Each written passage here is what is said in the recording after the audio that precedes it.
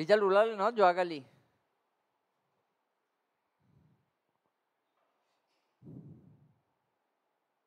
অহাকালিৰ পৰা আমাৰ অৰিয়েণ্টেশ্যন আছে ইণ্টাৰভিউ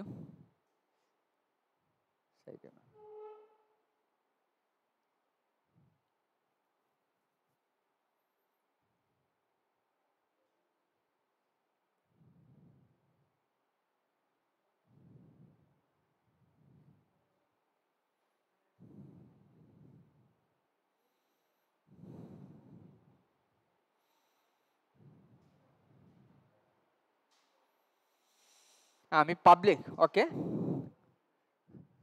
আমি পাব্লিক ফাইনেন্স কৰি আছিলোঁ চিলেবাছৰ এইটো এৰিয়াত আছিলোঁ আমি তাত বেচিকেলি বাজেট আজি আমি টেক্স ষ্ট্ৰাকচাৰ সম্বন্ধে আলোচনা কৰিম which is very important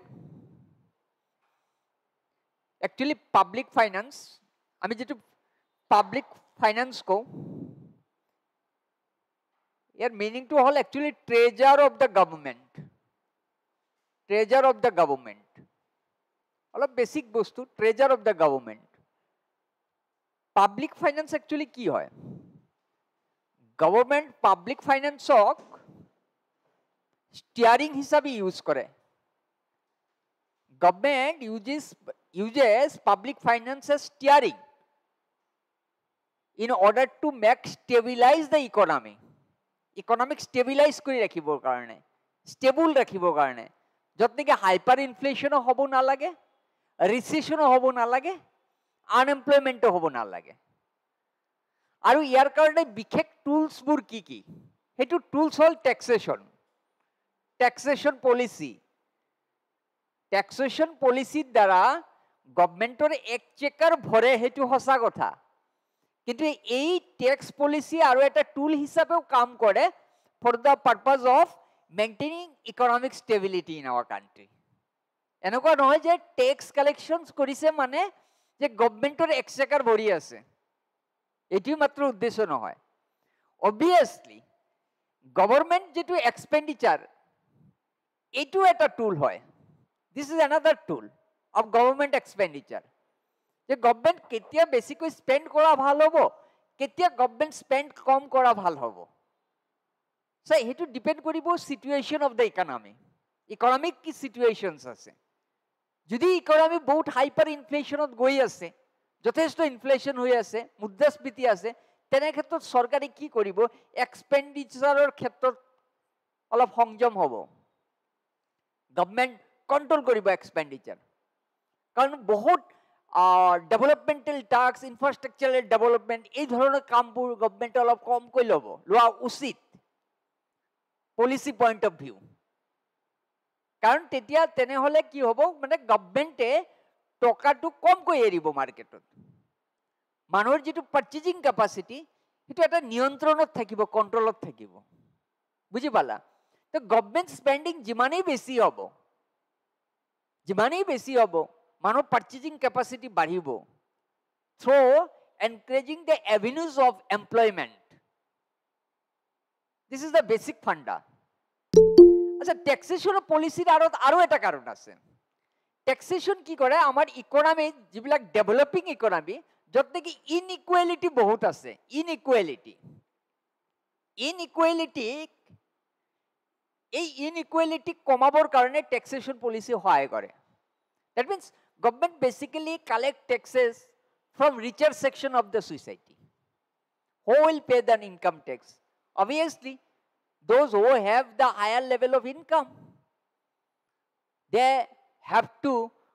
pay the income tax. Corporate tax, it comes under also Income Tax Act 1961. Corporate tax, which is also the direct tax, it also comes under the direct tax regime under the Income Tax Act 1961. Okay. So, this is how government will collect taxes from richer section of from the richer section of our society and, and spend all this amount of taxes for upliftment of unprivileged section of our society, marginalized section of the society in the form of subsidy, in the form of financial aid, in the form of welfare scheme, in the form of giving free education, health, and so on. This is how the marginalized section of our society become enhanced. ওপৰৰ পিনে যাব পাৰে ঊৰ্ধগতি হ'ব পাৰে তেতিয়া equality আহিব তো গতিকে গভমেণ্টৰ যিটো পাব্লিক ফাইনেন্সৰ আঁৰত যিটো মেইন অবজেক্টিভ সেই অবজেক্টিভ এটা ক'ব পাৰোঁ যে to reduce inequality to maintain to maintain economic stability মেইনছত কেতিয়াবা লিখিব দিব পাৰে হা লিখিব দিব পাৰে major objective major objective of public finance basic বস্তু এইটো দিছোঁ মই major objective of public finance so এই দুটা মেইন এতিয়া ইকনমিক গ্ৰ'থ বঢ়াবৰ কাৰণে কি কৰিব ইনভেষ্টমেণ্ট বঢ়াব লাগিব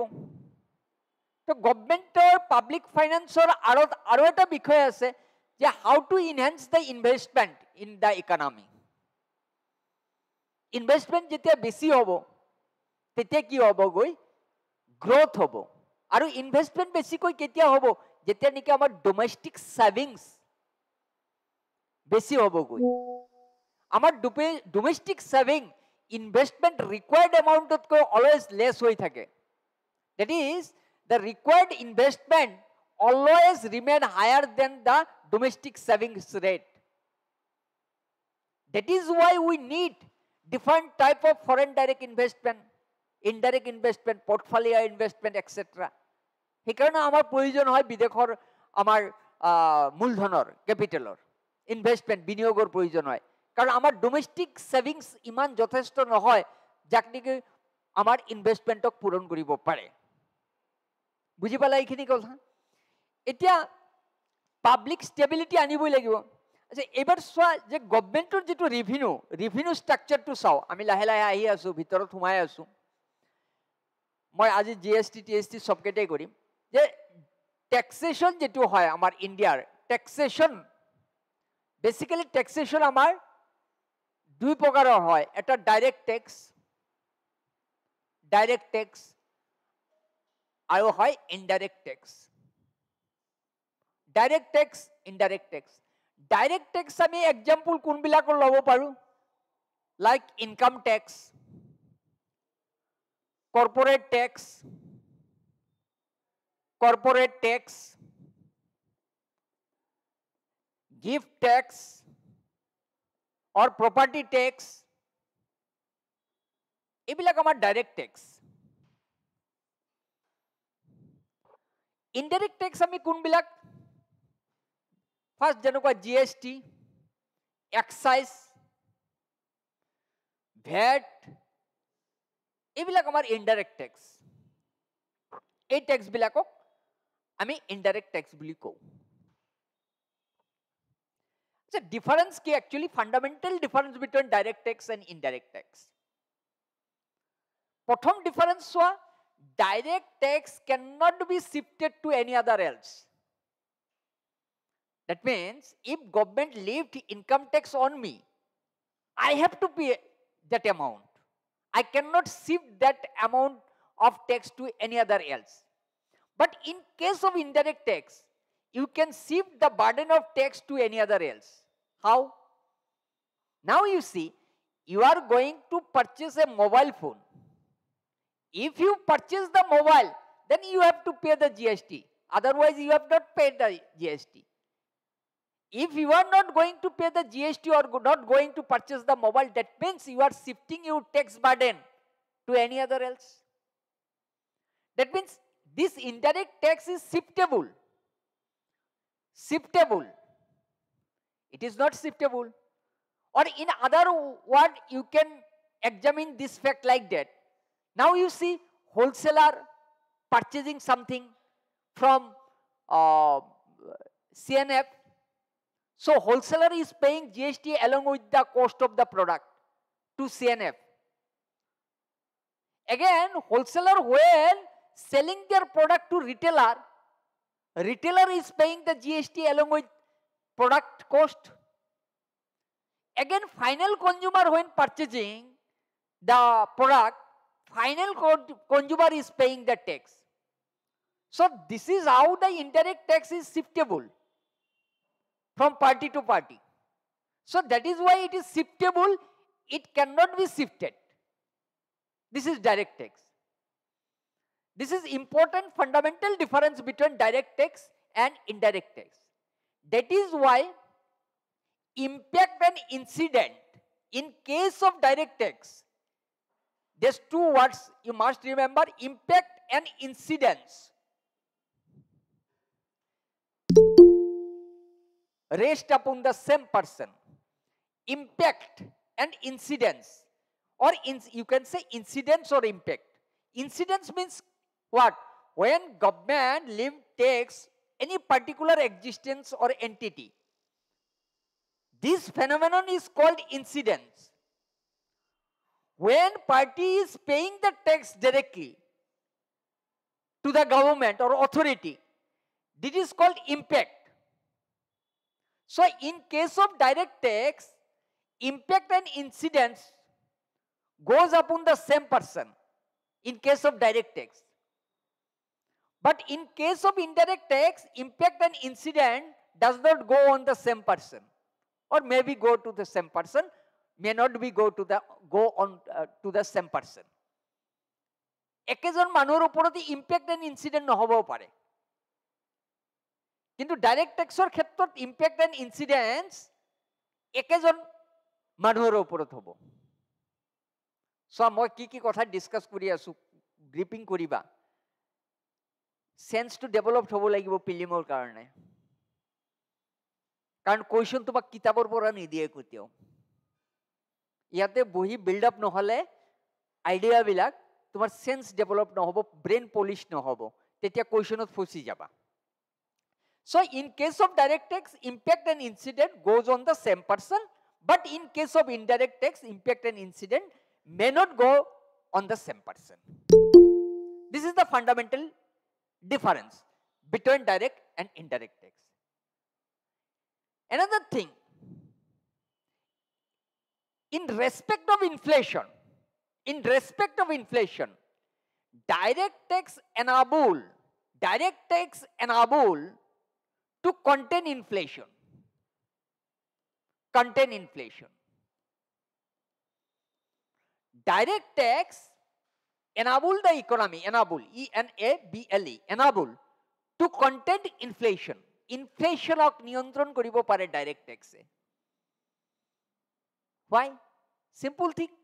When direct tax increase, disposable income will be reduced. The income which is spent on consumptions as well as saving is called disposable income entire income of an individual cannot be considered as a disposable income. মোৰ এতিয়া salary আহিল fifty thousand এইটো মোৰ income personal income this is amount is my personal income কিন্তু ইয়াৰ পৰা income tax কাটিব say five thousand say rest amount is forty five thousand this rest amount is called disposable income I have right to spend this amount of money either on consumptions or saving after deducting the direct tax. So what we understand simple thing disposable income means personal income minus direct tax. Rest amount is disposable income. So I mean to say one thing here. Direct tax enable the economy to contain inflations as because by levying direct tax disposable income of the people can be reduced. Then what happened in case of indirect tax? Indirect tax, that means by rising direct tax or by rising the direct tax rate, whatever you say, inflations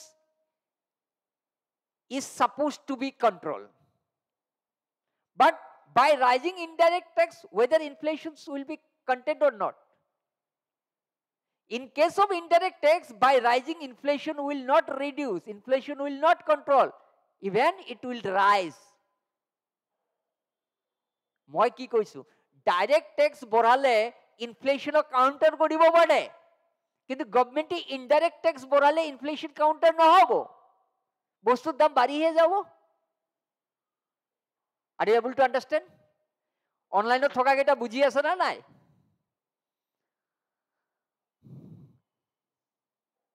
Himashree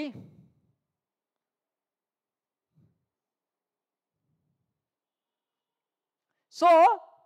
indirect tax inflation of borabo hai. Direct tax inflation of কমাব clear হয়েছে এবার আরো একটা বিষয় টেক্সর যেটু style আমার ইন্ডিয়াত যেটু style design design এটা হয় প্ৰগ্ৰেছিভ প্ৰগ্ৰেছিভ আমি ইয়ালৈকে অহাই নাই এতিয়া আহি আছো ৰিগ্ৰেছিভ ৰিগ্ৰেছিভ আৰু প্ৰপৰশ্যনেল হয় কোৱা ৰাইজ হ'ব ইনফ্লেশ্যন কণ্ট্ৰল হ'ব ভালে হ'ব ইয়েস পাৰি আজি আজি তাৰিখত চোৱা পেট্ৰলৰ ওপৰত আমাক কি লৈছে এটা ল'লে তোমাৰ ভেট লৈ আছে ষ্টেটবিলাকে আৰু এক্সাইজ লৈ আছে চেণ্ট্ৰেল গভমেণ্টে ছাপ'জ কিবা এটা ৰেট আছে ভেটৰ ওপৰত আজি পেট্ৰলৰ ওপৰত যদি ষ্টেট গভমেণ্ট আৰু চেণ্ট্ৰেল গভমেণ্ট বহুত গভমেণ্ট যদি ৰিডিউচ কৰে অকণমান তেতিয়া পেট্ৰলৰ দাম কমি যাব নাইণ্টি এইটৰ ঠাইত দুটকা কৰি কমাই দিলেও চাৰি টকা কমি যাব নাইণ্টি ফ'ৰ হৈ যাব গতিকে বস্তুৰ দাম কমকৈ পালে transportation become cheaper at little bit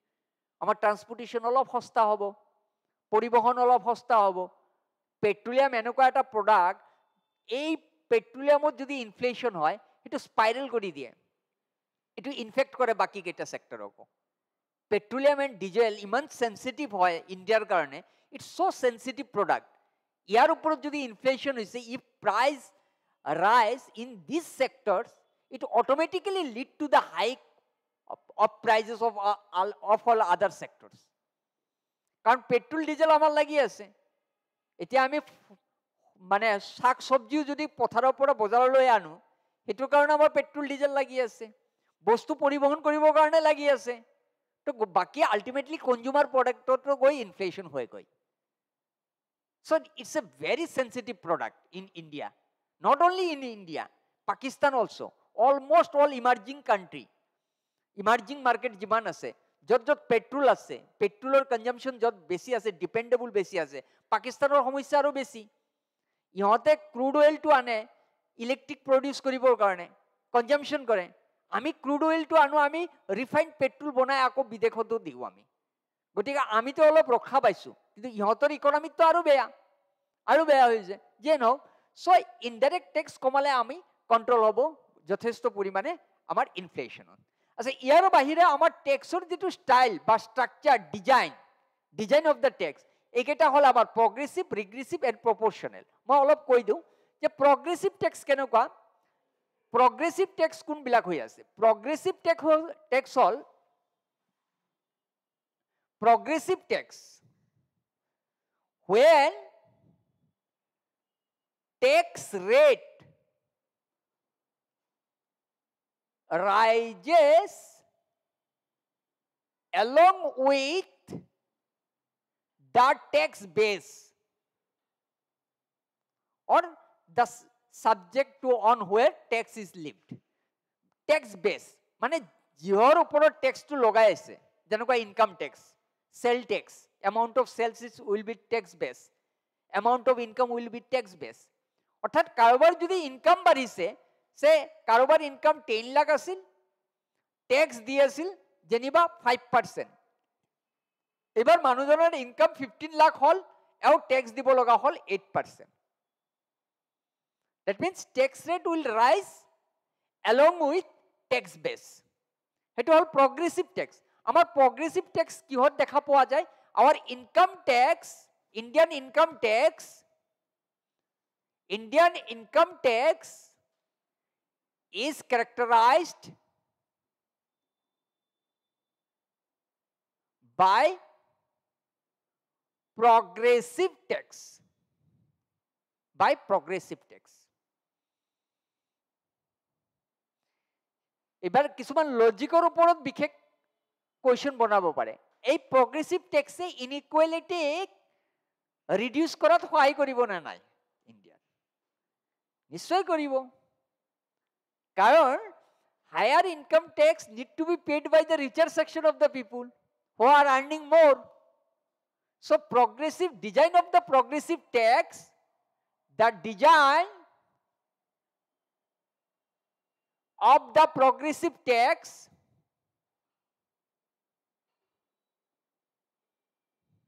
help to reduce inequality inequality কমাবৰ কাৰণে সহায় কৰিব হয়নে টেক্স বেছ যেনেকুৱা ইনকাম মানে actually the rate of tax what the rate is levied on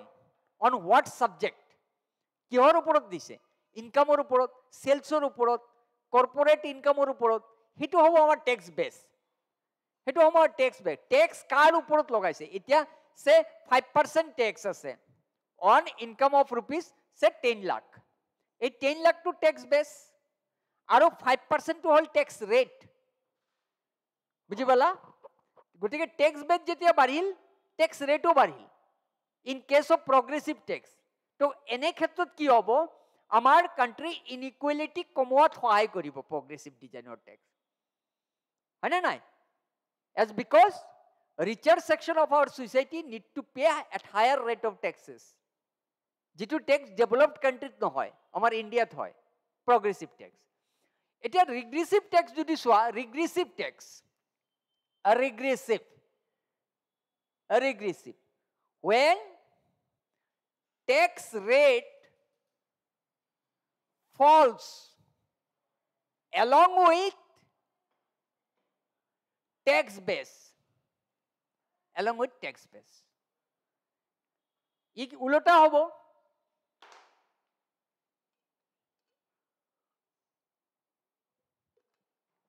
হয়নে নাই ইয়াৰে ক্ষেত্ৰত কি হয় ৰিগ্ৰেচিভ ডিজাইনৰ টেক্স বাৰ্ডেন বঢ়াব কাৰ বাৰ্ডেন বঢ়াব ৰিচাৰৰ পুৰাৰ ভেৰি গুড পুৰাৰৰ বঢ়াব So, the burden of regressive tax, the burden of regressive tax is more on poor rather than a rich.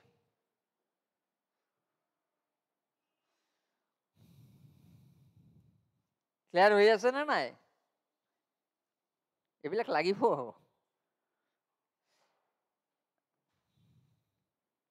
আৰু এটা হয় proportional tax proportional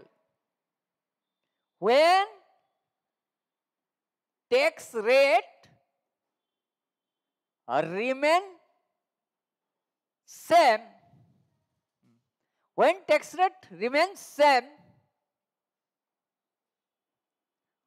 whatever the tax base whatever the tax base মানে একেটা থাকিব proportional tax rate change নহ'ব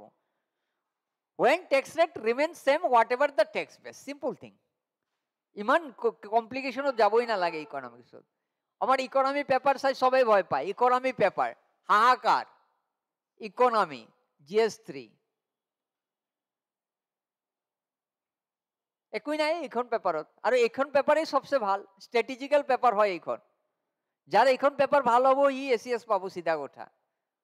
চিধা কথা কাৰণ G S one G S two level চবৰে একেৰকম থাকে টু ফাইভ ফ'ৰ ফাইভৰ মাৰ্কছৰ ইপিন ইপিন হয় মই কৈ থাকোঁ গৈ এইখন পেপাৰ যাৰ ভাল হ'ব ইটো এ চি এছ পাব নিশ্চয় পাব আৰু তাত কোনো ৰকম সন্দেহ নাই কাৰণ এইখন পেপাৰত বহুত চেলেঞ্জ ফিল কৰে একো নাই পেপাৰখনত কনচেপ্টহে কনচেপ্টখিনি বুজিব লাগে মেইন থিং কনচেপ্ট ইয়াতে পঢ়ি শুনি একো কৰিব নোৱাৰিব কোনেও একো কৰিব নোৱাৰিব আৰু যোনে ৰেগুলাৰলি টেষ্ট ছিৰিজ দিছে টেষ্ট ছিৰিজ আমাৰ যিমানকেইটা ক্লিয়াৰ হৈছে এইবাৰ চবৰ ৰেকৰ্ড চোৱা গৈ চব টেষ্ট ছিৰিজ এটেম্প কৰিছে এটা এটা ছিংগল টেষ্ট ছিৰিজ স্ক্ৰিপ্ট নকৰা কৰা নাই মানুহ আৰু যোনে টেষ্ট ছিৰিজ কৰা নাই তাৰ ক্লিয়াৰ হোৱা নাই আমাৰ চিনটোৰ ক্লিয়াৰ হোৱা নাই ভাল কেণ্ডিডেট ভাল এক্সপাৰেণ্ট ক্লিয়াৰ হোৱা নাই চিনটোৰ তোমাক কৰাই গৈছে ন ক্লিয়াৰ হোৱা নাই চিনটো ক্লিয়াৰ হোৱা নাই টেষ্ট ছিৰিজ কৰা নাই যোনে টেষ্ট ছিৰিজ নকৰিব তাক ক্লিয়াৰ নহ'ব সি যিমান যিমান নলেজেবল নহওক কিয়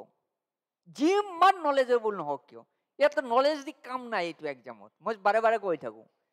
নলেজ দি কোনো কামেই নাই নলেজ থাকিলে বেলেগ প্ৰফেশ্যনত যাব লাগিব এইটো প্ৰফেশ্যন নাই সেই প্ৰেক্টিচ কৰিব লাগিব সাঁতোৰ শিকিবৰ কাৰণে নহয় পানীত নামিব লাগিব থিয়ৰি দি কা কোনোৱে কাকো সাঁতোৰ শিকাব নোৱাৰে যে এনেকুৱা হাতটো এনেকুৱা কৰি দিবা এনেকুৱা কৰি দিবা সেইবিলাক নহ'ব সেই প্ৰেক্টিকেলি শিকিব লাগিব পানীত নামিব লাগিব আৰু সেইকাৰণে টেষ্ট চিৰিজ ডেভেলপ কৰিব লাগে টেষ্ট চিৰিজ এনেকুৱা মেডিচিন হয় যোনে ৰেগুলাৰ টেষ্ট চিৰিজ কৰি গৈছে নহয় ই যদি কনচেপ্টত অলপ লেকিঙো থাকে নহয় ই পাৰ হৈ যায় কাৰণ বহুত কুৱেশ্যন ডিল কৰোঁতে কৰোঁতে এনেকুৱা এটা অভ্যস্ত হৈ যায় ন অভ্যাস হৈ যায় তো চেন্সটো বহুত ব্ৰাছিং হয় চেন্সটো বহুত ডেভেলপড হয় পলিছড হয় ব্ৰেইন আমাৰ কোনে কৈছে পঢ়াৰ দ্বাৰা কম্পিটিটিভ এক্সাম কোনে কয় এইবিলাক পঢ়াটো চবেই পঢ়ে কনচিষ্টেণ্টলি তিনি ঘণ্টা চাৰি ঘণ্টা এইটো এটা ষ্টেণ্ডাৰ্ড টাইম ষ্টেণ্ডাৰ্ড ডিভিশ্যন পঢ়ে চবেই পঢ়ি থাকিলে কি হ'ব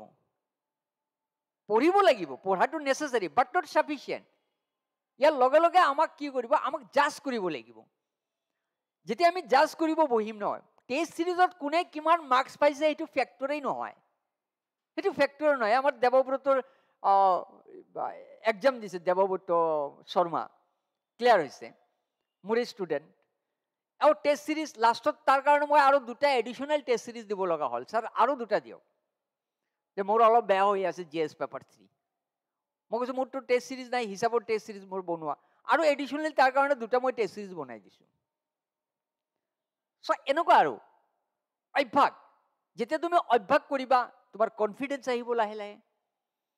আৰু কনচেপ্ট দুটা বস্তু ক্লাছৰ concept concept plus test series এই যে কনচেপ্টখিনি আহিল তোমাৰ ভিতৰত তুমি বুজি পালা you understand whatever is saying ইয়াৰ তাক তুমি পৰ্ট্ৰেট কৰা তুমি ৰিভাল্ড কৰা তোমাৰ প্ৰেজেণ্টেশ্যন ভাষা নহয় দেই কাৰোবাৰ ভাষা কম হ'ব বেয়া হ'ব ভাল হ'ব সেইবিলাক একো ফেক্টৰ নাহে লিখাৰ অভ্যাস কৰিব লাগে ভাষাও ইম্প্ৰুভ হয় ৰাইটিঙো ইম্প্ৰুভ হয় আৰু তোমাৰ যিটো জানা কনচেপ্ট ধাৰণাটো সেইটো আৰু পলিছ হৈ গৈ লাহে লাহে সেই টেষ্ট ছিৰিজৰ চাইণ্টিফিকটো বুজি নাপায় আমাৰ ষ্টেটত এইটো হ'ল সমস্যা তে বিহাৰ ইউ পি ইহঁতে বুজি পায় ইহঁতে টেষ্ট ছিৰিজ ষ্টাৰ্ট কৰি দিব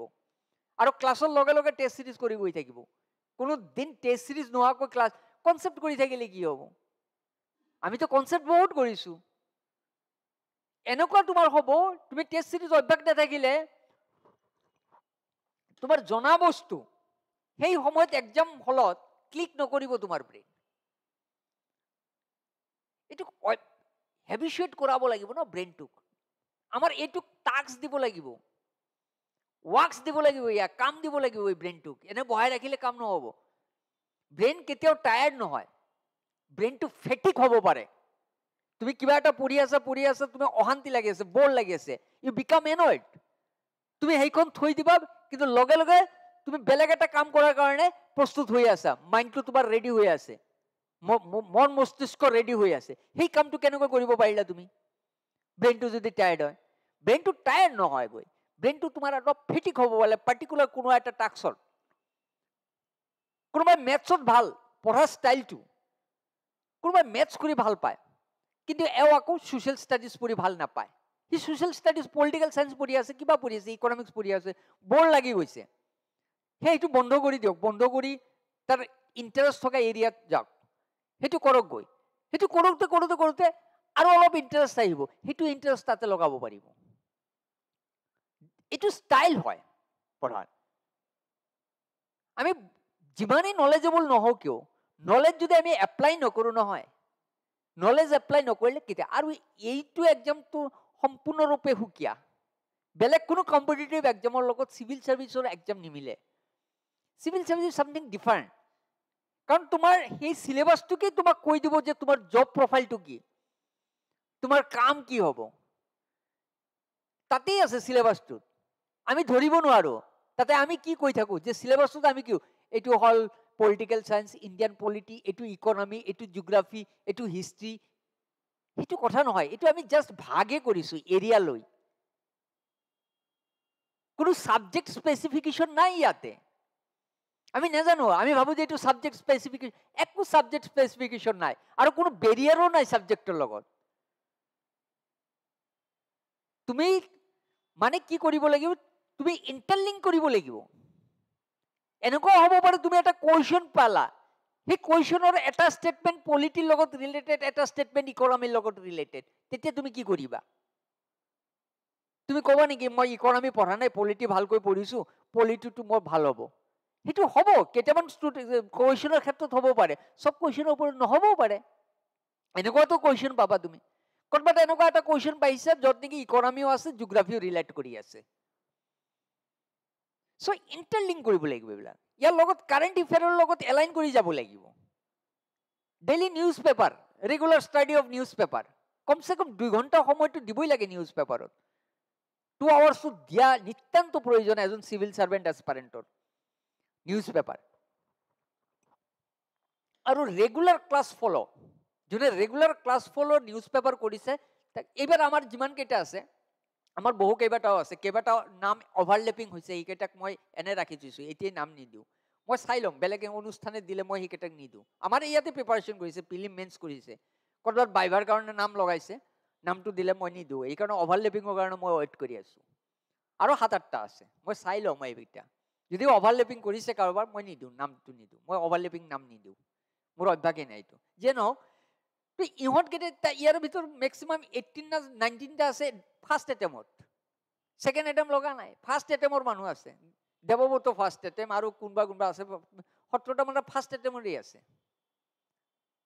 দুটা ষ্টেট চিভিল ছাৰ্ভিচৰ কাৰণে দুটা এটেম নেলাগে মই সঁচা কথা কৈছোঁ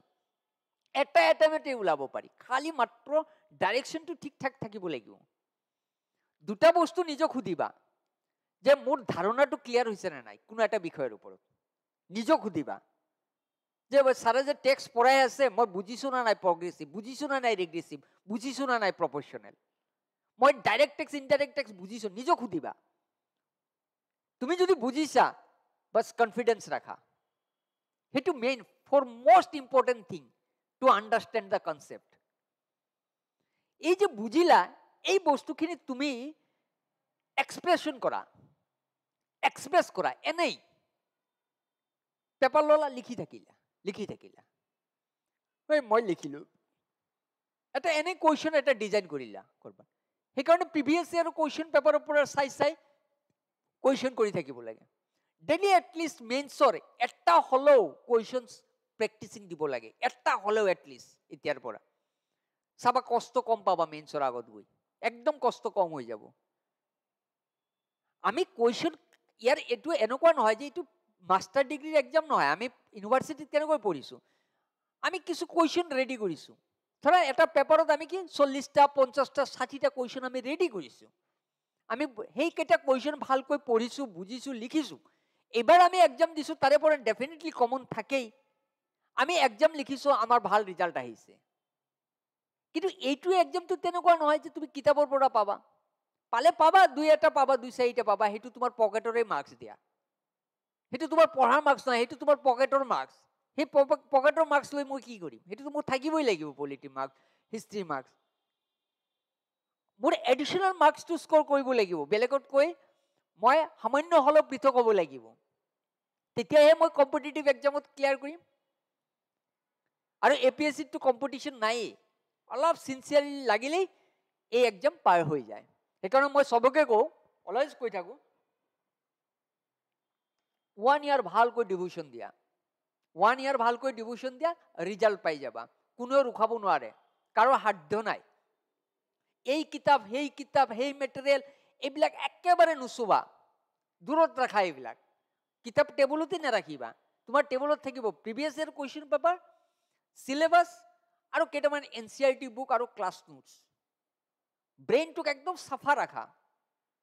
বহুত এগাল কিতাপ এগাল তুমি মেটেৰিয়েল এইবিলাক লৈ বহিবা নহয় তুমি একেবাৰে ক্লামজি হৈ যাবা আৰু এইটো একজাম ক্লামজি নহয় মই কৈ আছো কোনোবাই ইয়াতে এনেকুৱা নহয় তুমি ইকনমিক্সৰ পি এইচ ডি হ'ব লাগিব তুমি ইকনমিক্স পলিটিকেল চাইন্সত পি এইচ ডি বিচাৰ নাই সেইকাৰণে এই একজামটো কি বিচাৰে ৰিকুৱাৰ্ড কোৱালিফিকেশ্যন কি graduate in any discipline even পাৰ্চেণ্টেজকো mention নকৰে যে ফিফটি পাৰ্চেণ্ট পোৱা ল'ৰা ছোৱালী এপ্লাই কৰিব পাৰিব কিয় নকৰে নকৰে কি চিম্পুল থিং এটাই কাৰণ এ পি এছ চি কোৱা আৰু ষ্টেট চিভিল ছাৰ্ভিচ কোৱা আৰু ইউ পি এছ চি কৰা কোৱা ইহঁতে ভালকৈ জানে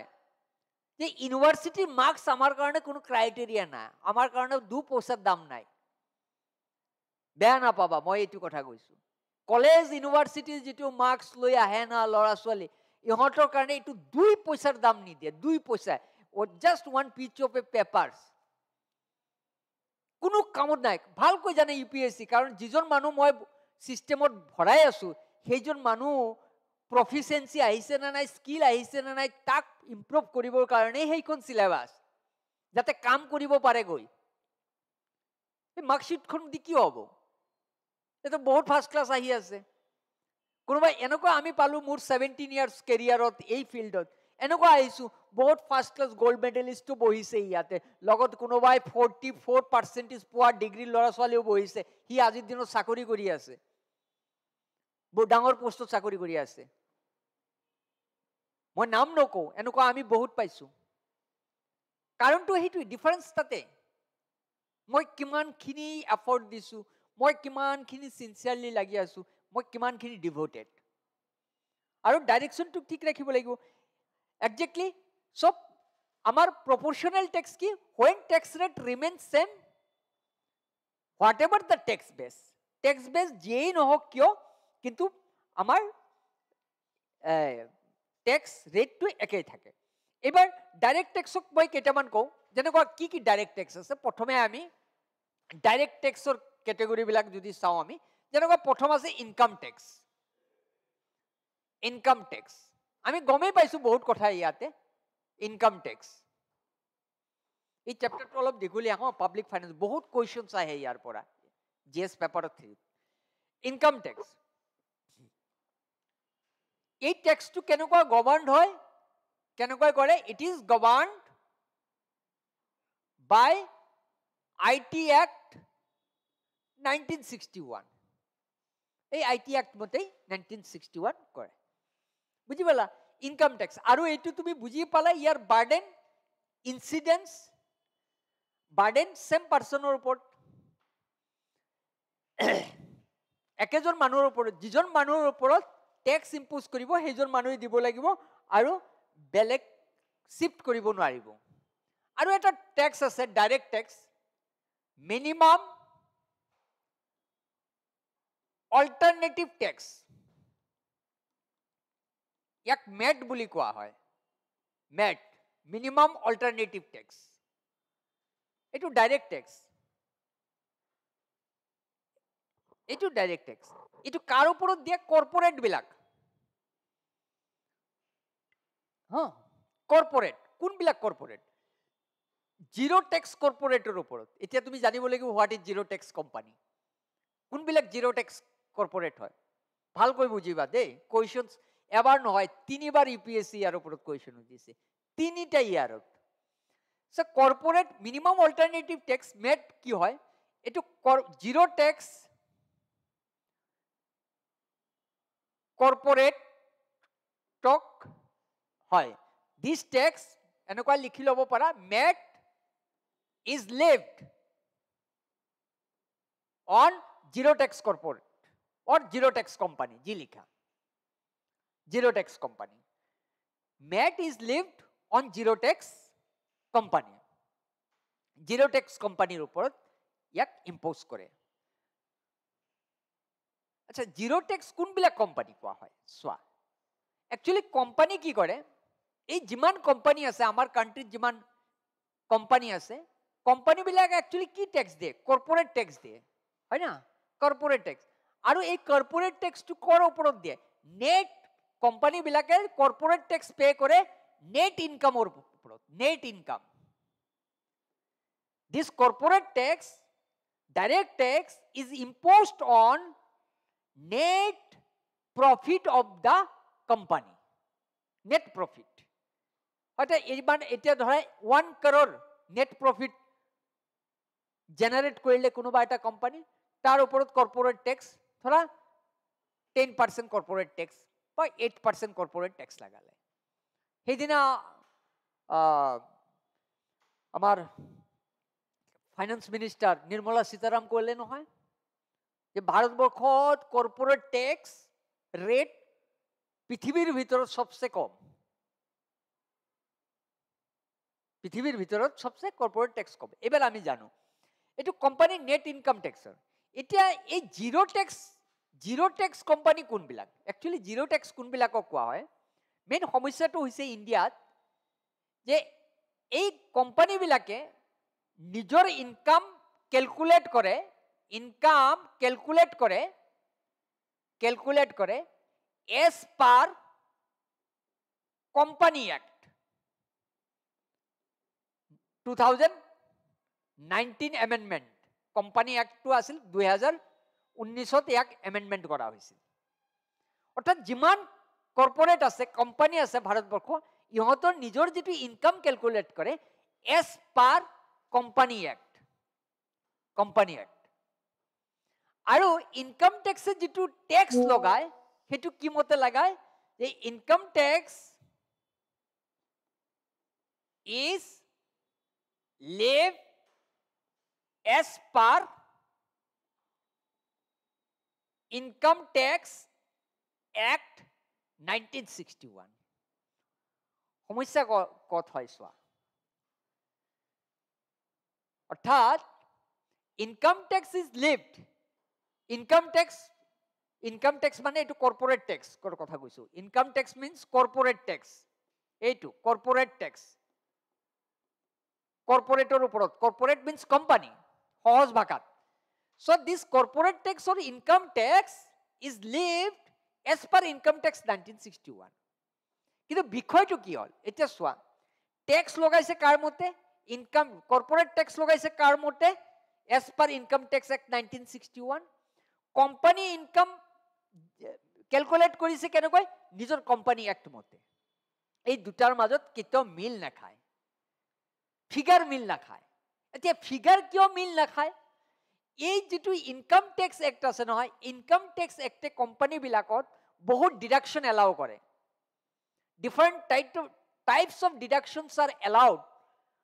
by income tax act nineteen sixty one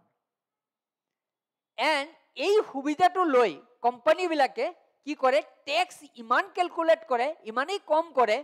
যে ই জিৰ' টেক্স হৈ যায় টেক্স দিবই লগা নহয় দিবই লগা নহয় কিন্তু কোম্পানী নিজৰ ডিভিডেণ্ড শ্বেয়াৰ হোল্ডাৰক ডিভিডেণ্ড দি আছে চব বাকী চব কাম চলি আছে কিন্তু গভমেণ্টক টেক্স নিদিয়ে জিৰ' টেক্স কেলকুলেট কৰি দিয়ে আৰু ইন জেনেৰেলি কোম্পানী যেতিয়া কোম্পানী এক্ট মতে ইনকাম কেলকুলেট কৰে ইনকাম যিটো কেলকুলেট কৰে একচুৱেলি এটা বেলেঞ্চ শ্বীট প্ৰিপেয়াৰ কৰে বেলেঞ্চ শ্বীট মনত ৰাখিবা হা মই যি যি কৈ আছোঁ balance sheet at the end of every financial year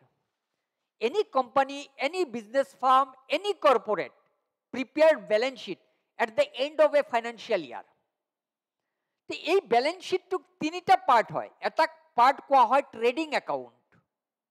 trading account আনটু পার্ট হল প্রফিট অ্যান্ড লস অ্যাকাউন্ট পাহরি গেলে ফুল ফর্মত লিখি লবা প্রফিট অ্যান্ড লস আরও একটা পার্ট হল বেলেঞ্চ শ্বীট বেলেঞ্চ শ্বীট এইটো ফাইনেল একাউণ্ট বুলি কোৱা হয় final account balance sheet means final account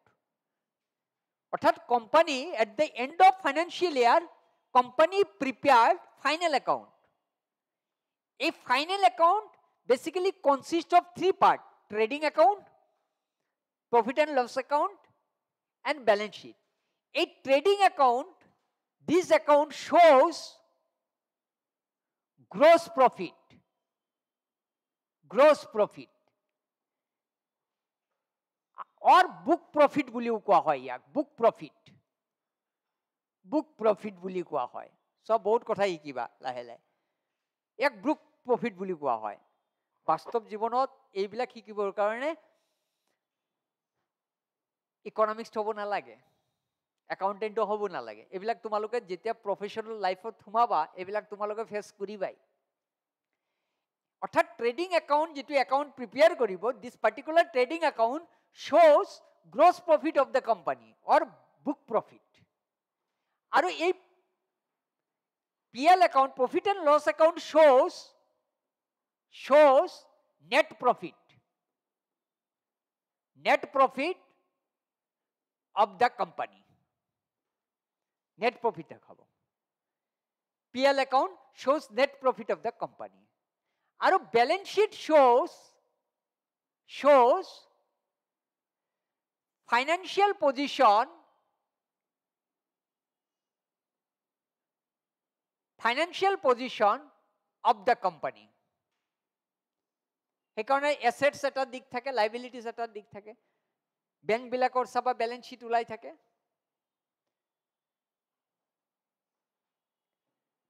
হ'ব এইবাৰ আমি আহিছোঁ যেতিয়া নেট প্ৰফিট আহে ইহঁতে কোম্পানীবিলাকে যেতিয়া নেট প্ৰফিট শ্ব' কৰে সেই নেট প্ৰফিটটো এনেকুৱা এটা এমাউণ্ট বনাই দিয়ে যিটো ইমান ডিডাকশ্যন কৰাৰ পিছত ইমান কম হৈ যায় তাৰ ওপৰত টেক্সেই নাহে কৰ্পৰেট টেক্সেই নাহে তো এই কোম্পানীবিলাকক গভৰ্ণমেণ্টে জিৰ' টেক্স কোম্পানী বুলি ধাৰ্য কৰিছে বা স্বীকৃতি দিছে আৰু zero tax company MAT minimum alternative tax এটা দিব লাগিব এটা লামচাম এমাউণ্ট টেক্স দিব লাগিব গতিকে আজিৰ দিনত কোম্পানীবিলাকে যদি হয় কৰ্পৰেট দিব লাগিব কৰ্পৰেট টেক্স দিব লাগিব নহ'লে মেট দিব লাগিব যোনটো বেছি হয় whatever the amount is higher অৰ্থাৎ কোনো company I I mean to say any company is not paying corporate tax then he has to pay minimum alternative বুজি পালা কাৰণ এই কৰ্পৰেট টেক্স হিচাপ কৰিলে তাৰ টেক্সেই হোৱা নাই ট্ৰেডিং একাউণ্ট দেখুৱাইছে যিটো গ্ৰছ প্ৰফিট দেখুৱাইছে সেই বুক প্ৰফিট তাক বুক প্ৰফিট বুলিও কোৱা হয় এই বুক প্ৰফিটৰ ওপৰত মেট দিব মিনিমাম অল্টাৰনেটিভ টেক্স দিব কিন্তু কৰ্পৰেট যিটো টেক্স হয় সেইটো নেট প্ৰফিটৰ ওপৰত দিয়ে are you able to understand what I am saying এইবিলাক লাগিব এইবিলাকৰ কাৰণে ইকনমিক্স হ'ব নালাগে দেই মই বাৰে বাৰে কৈছোঁ অৰ্থবিদ হ'ব নালাগে একাউণ্টেণ্টো হ'ব নালাগে কাৰণ তোমালোকে যিটো প্ৰফেশ্যনত গৈ আছা ইন ফিউচাৰত এইবিলাক চব লাগিব নহ'লে ইনকুৱাৰী কৰিবা কেনেকৈ তোমাক যেতিয়া ইনকুৱাৰী কৰিব দিব একাউণ্টছ অডিট কৰিব দিব তেতিয়া কি কৰিবা তুমি ক'বা নেকি যে মই একাউণ্টছৰ মানুহ নহয় চি এমক ক'বা যে লিখি দিবা যে মই একাউণ্টছৰ মানুহ নহয় মই নুবুজিম নোৱাৰিম কৰিব লাগিব এইবিলাক বেচিক নলেজ কাৰোবাক ধৰিব লাগিব কাৰোবাক চাৰ্জ কৰিব লাগিব অডিট কৰিব লাগিব এইবাৰ অডিটৰো তোমাক ঠকাই দিব পাৰে যে ছাৰ এইটো এইটো এনেকুৱা হয় এইটো এনেকুৱা আমাৰ অসমত তেনেকুৱা এটা সময় আছিল এনেকুৱা চাৰ্কল অফিচাৰবিলাক সোমাইছিল মাটিত জোক মাবেই নাজানে তো মণ্ডলে যি কয় এইটোৱে বুজি পায় এনেকুৱা গভমেণ্টৰ বহুত লেণ্ড গুচি গ'ল মানুহৰ অকল আজি যে লেণ্ড লিটিগেশ্যন লাগি আছে নহয় আমাৰ ষ্টেটত কিহৰ কাৰণে because of lacking experience of bureaucrat জানা নে নাই তোমালোকে বিউৰিকেটৰ নলেজ নাই ধৰিব পৰা নাই কোনটো মাটি গভৰ্ণমেণ্টৰ হয় কোনটো মাটি কাৰ হয় মাটিৰ জোক মাপ নাজানে বেচিক বস্তু এইটো মণ্ডলে যি মণ্ডল অভিজ্ঞ মানুহ সি বহু পুৰণা মানুহ চিঞৰ জন্তু অফিচৰ ভিতৰত বহি থাকে আহি কৈছে চাৰ নাই এইখিনি মাটি এই হয় এইখিনি নাই এইখিনি জাগাই বিচাৰি পোৱা নাই এইখিনি ডেমাৰ্কেশ্যনো হোৱা নাই এনেকৈ এনেকৈ লাহে লাহে লাহে লিটিগেশ্যন বাঢ়ি গৈ আছে পেণ্ডিং হৈ হৈ বহুত লিটিগেশ্যন আজিৰ টাইমত সেইকাৰণে এভিকশ্যন লাগিল কিবা লাগিল কিবা গণ্ডগোল ইমান যিমান সমস্যা হৈছে সমস্যা কেনেকৈ সৃষ্টি হয় বিব্ৰিকেটৰ নলেজ কম আছিল বুজি নাপায় মাটিৰ যুগ বুজি নাপায় কিন্তু আজিৰ টাইমত আৰু নহ'ব চেচ সেই দিন গ'ল আৰু আজিৰ পৰা বিছ বছৰ পঁচিছ বছৰৰ আগৰ এ চি এছ আৰু আৰু আজিৰ এ চি এছ ডিফাৰেঞ্চ আছে সেইকাৰণে চিলেবাছ চোৱা নে নাই আগৰ চিলেবাছো চাবা আগৰ চিলেবাছটো পঢ়িবই নালাগে এ চি এছ হ'বৰ কাৰণে তিনিমাহ পঢ়িলে এ চি এছ হৈ যায় আজি তেমন তোমালোকে ছয়টা ছয়টা পেপাৰ দিব লগা হৈছে তেতিয়াৰ সময়ত এটাইহে পেপাৰ আছিল টাফ হৈছে গতিকে তোমালোকে যিটো প্ৰফিচিয়েঞ্চি লৈ যাবা প্ৰফেশ্যনত সেইটো বহুত বেছি আগৰ তুলনাত যে নহওক চ' এইটো হ'ল মেট মিনিমাম অল্টাৰনেটিভ টেক্স আৰু এই মিনিমাম অল্টাৰনেটিভ টেক্স মনত ৰাখিব পাৰা section hundred and fifteen section hundred and fifteen B of I T act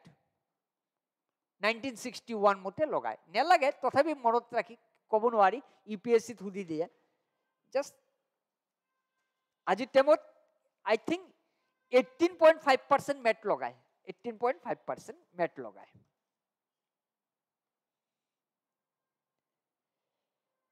আৰু এটা ডাইৰেক্ট টেক্স আছে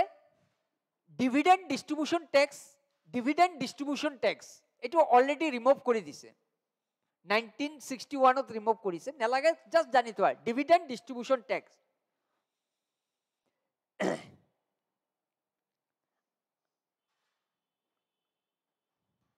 আৰু এটা আছে ছিকিউৰিটি ট্ৰেঞ্জেকশ্যন টেক্স ডাইৰেক্ট টেক্সত আহে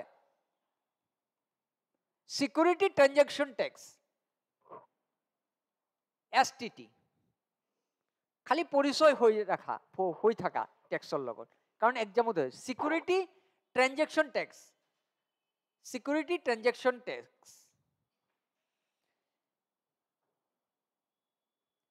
যেতিয়া এইটো কেতিয়া এই টেক্স হয় this tax is levied when security purchase and cell in case of the this tax is levied at the time of purchase and sale of security security security বুজি পোৱা নে মই কৈ আছো হোৱাট ইজ চিকিউৰিটি চিকিউৰিটি কাক কওঁ আমি yes very good equity share debenture government bond এইবিলাক চব চিকিউৰিটিত পঢ়ে ডিভেঞ্চাৰটো হ'ল বেলেগ সেইটো ইণ্টাৰেষ্ট পাব হা ধাৰ দিয়ে যেতিয়া শ্বেয়াৰ মানে তুমি কোম্পানী শ্বেয়াৰ ল'লা তুমি শ্বেয়াৰ হোল্ডাৰ হ'লা কোনোবা এজন মানুহ যদি শ্বেয়াৰত ইনভেষ্ট কৰিছে that means he is becoming the owner of the company debenture যেতিয়া কোম্পানীক কৰ্পৰেটক লোন দিয়ে টকা দিয়ে ধাৰে সেইটো হ'ল কৰ্পৰেট ডিভিডেণ্ট বিক্ৰী কৰে ন বজাৰত তো এইবিলাক চিকিউৰিটি কোৱা হয় শ্বেয়াৰ এক্সেট্ৰা এইবিলাক ডিভিডেণ্টক আৰু ইয়াৰ ওপৰত চিকিউৰিটি চেল চিকিউৰিটি টেক্স লগায় চিকিউৰিটি ট্ৰেঞ্জেকশ্যন টেক্স লগায় ৰিচেণ্টলি এটা বহুত ইম্পৰ্টেণ্ট টেক্স আহিছে Google tax have you heard the name of Google tax or equalization levy question সুধিছে ন Google tax Google tax or equalisation tax জানি থোৱা একজামত সুধিলে মনত পৰিব ইকুৱেলাইজেশ্যন টেক্স এইটো আহিছে একচুৱেলি এইটো এটা অখি ৰেকমেণ্ড কৰিছে this tax was this tax was recommended by Akhil Ranjan committee Akhil Ranjan Committee, Akhil oh, Ranjan Committee.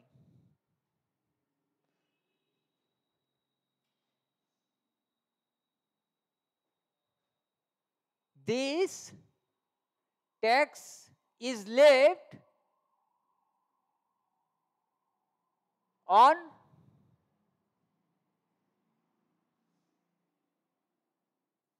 Google Facebook, Twitter, etc.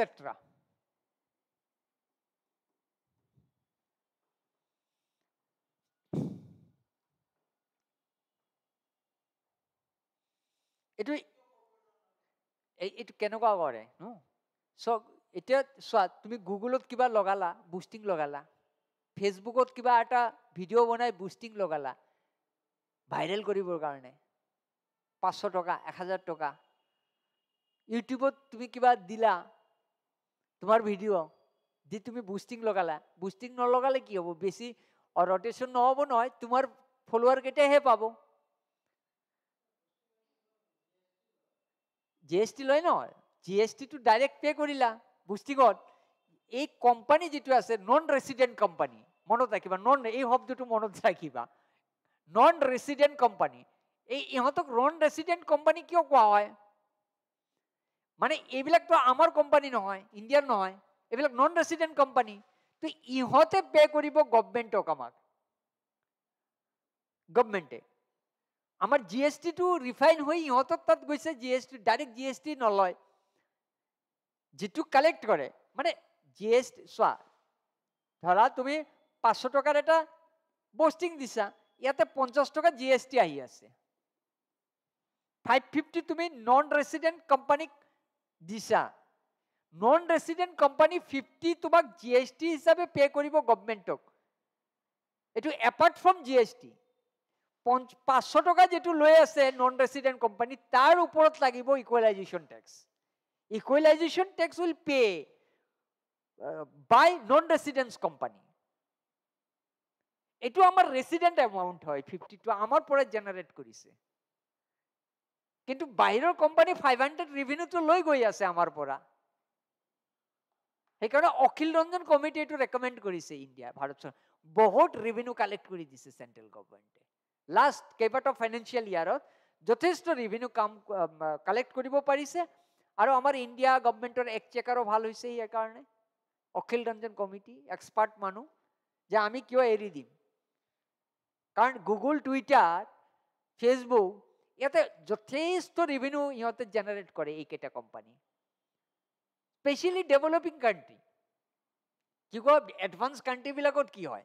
advance country Facebook YouTube use কৰে তোমালোকে জানা না নাই বহুত কম কৰে developing country like India Pakistan Bangladesh যিমান use কৰে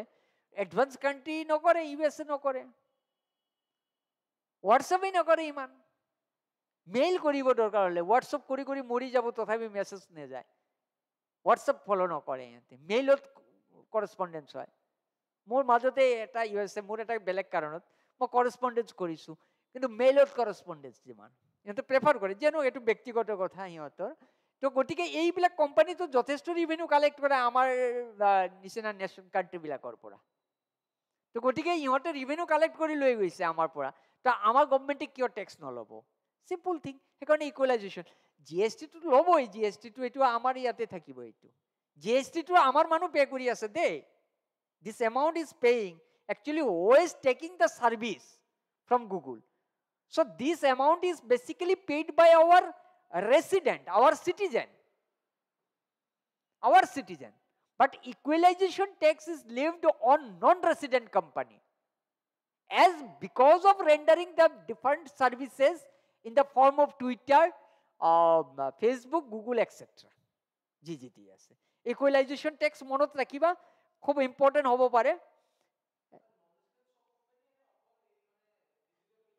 Digital media.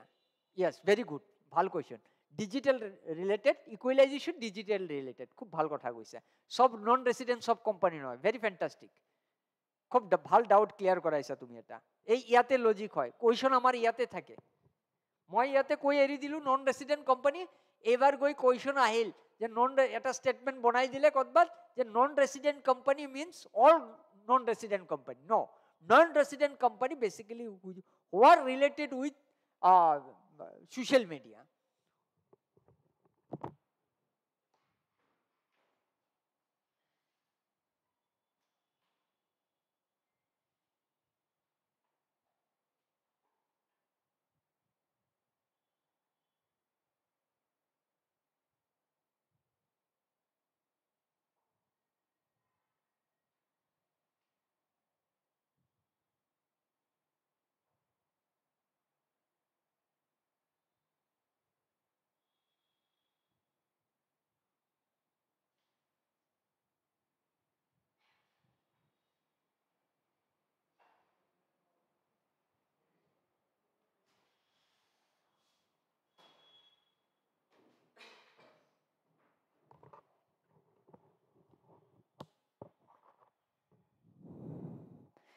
এটা আৰু এটা বিষয় ডাইৰেক্ট টেক্সত মই ইনডাইৰেক্ট টেক্সত অহাই নাই এতিয়াও এইটো বহুত ইম্পৰ্টেণ্ট এটা কুৱেশ্যন হয় direct tax code bill direct tax code bill direct tax code bill এইটো একচুৱেলি টু থাউজেণ্ড টেনত আহিছে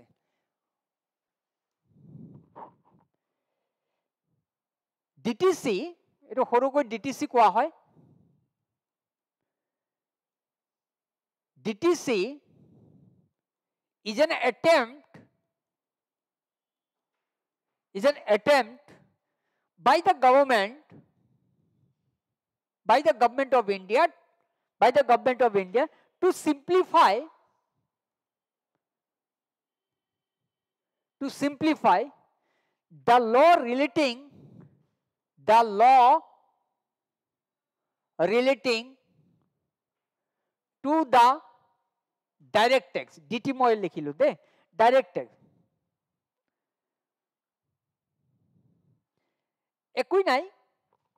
actually dt dara ki koril kisuman tax ok replace korile simplify kore jeno ko eta ase gift tax property tax aru eta tax kiba eta tax asil ki likhilu moy eta tax aru eta asil flat gift tax wealth tax এইবিলাকক replace কৰি দিছে আৰু nineteen sixty one যিটো income tax act আছিল ইয়াক আৰু যথেষ্ট ছিম্প্লিফাই কৰিলে সহজ সৰল কৰিলে এইখিনি এক্টটোত এই এক্টটোত একোৱেই নাই এটা কুৱেশ্যন আহিছিল I think U P S চিত মই question some DT DT C related to which of the following taxes এনেকুৱা আছিল তাতে এটা অপশ্যন আছিল ৱেল টেক্স য়েছ ৱেল টেক্সৰ লগত ৰিলেটেড আছে this tax was removed by this D T C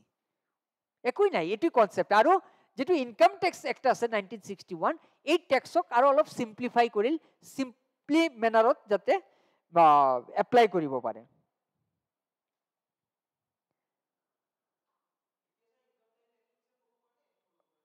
এইটো ফ'ল' কৰি আছে এইটো ফুৰে নাইনটিন ছিক্সটি ওৱান এক্টটো আছেই এইটোক চিম্প্লিফাই কৰিছে আৰু এই এই ইয়াৰ মতে এই বিলটোৰ দ্বাৰাই সেইটো অলপ চিম্প্লিফাই কৰিছে আৰু ৱেল টেক্সটোক গুচাই দিছে এইখিনি কামেই হৈছে আৰু তাৰপিছৰ আৰু এটা বস্তু আহিছিল general anti avoidance rule general anti avoidance rule এইটো টু থাউজেণ্ড ফৰ্টিন ইণ্ডিয়া গভমেণ্টে আনিছিল যাতে টেক্স এভইড কৰিব নোৱাৰে ইয়াৰ কাৰণে আনিছে বাকী একো নাই এইটো ইণ্ট্ৰডিউচ কৰিছে টু থাউজেণ্ড ফৰ্টিনত টু থাউজেণ্ড ফৰ্টিনত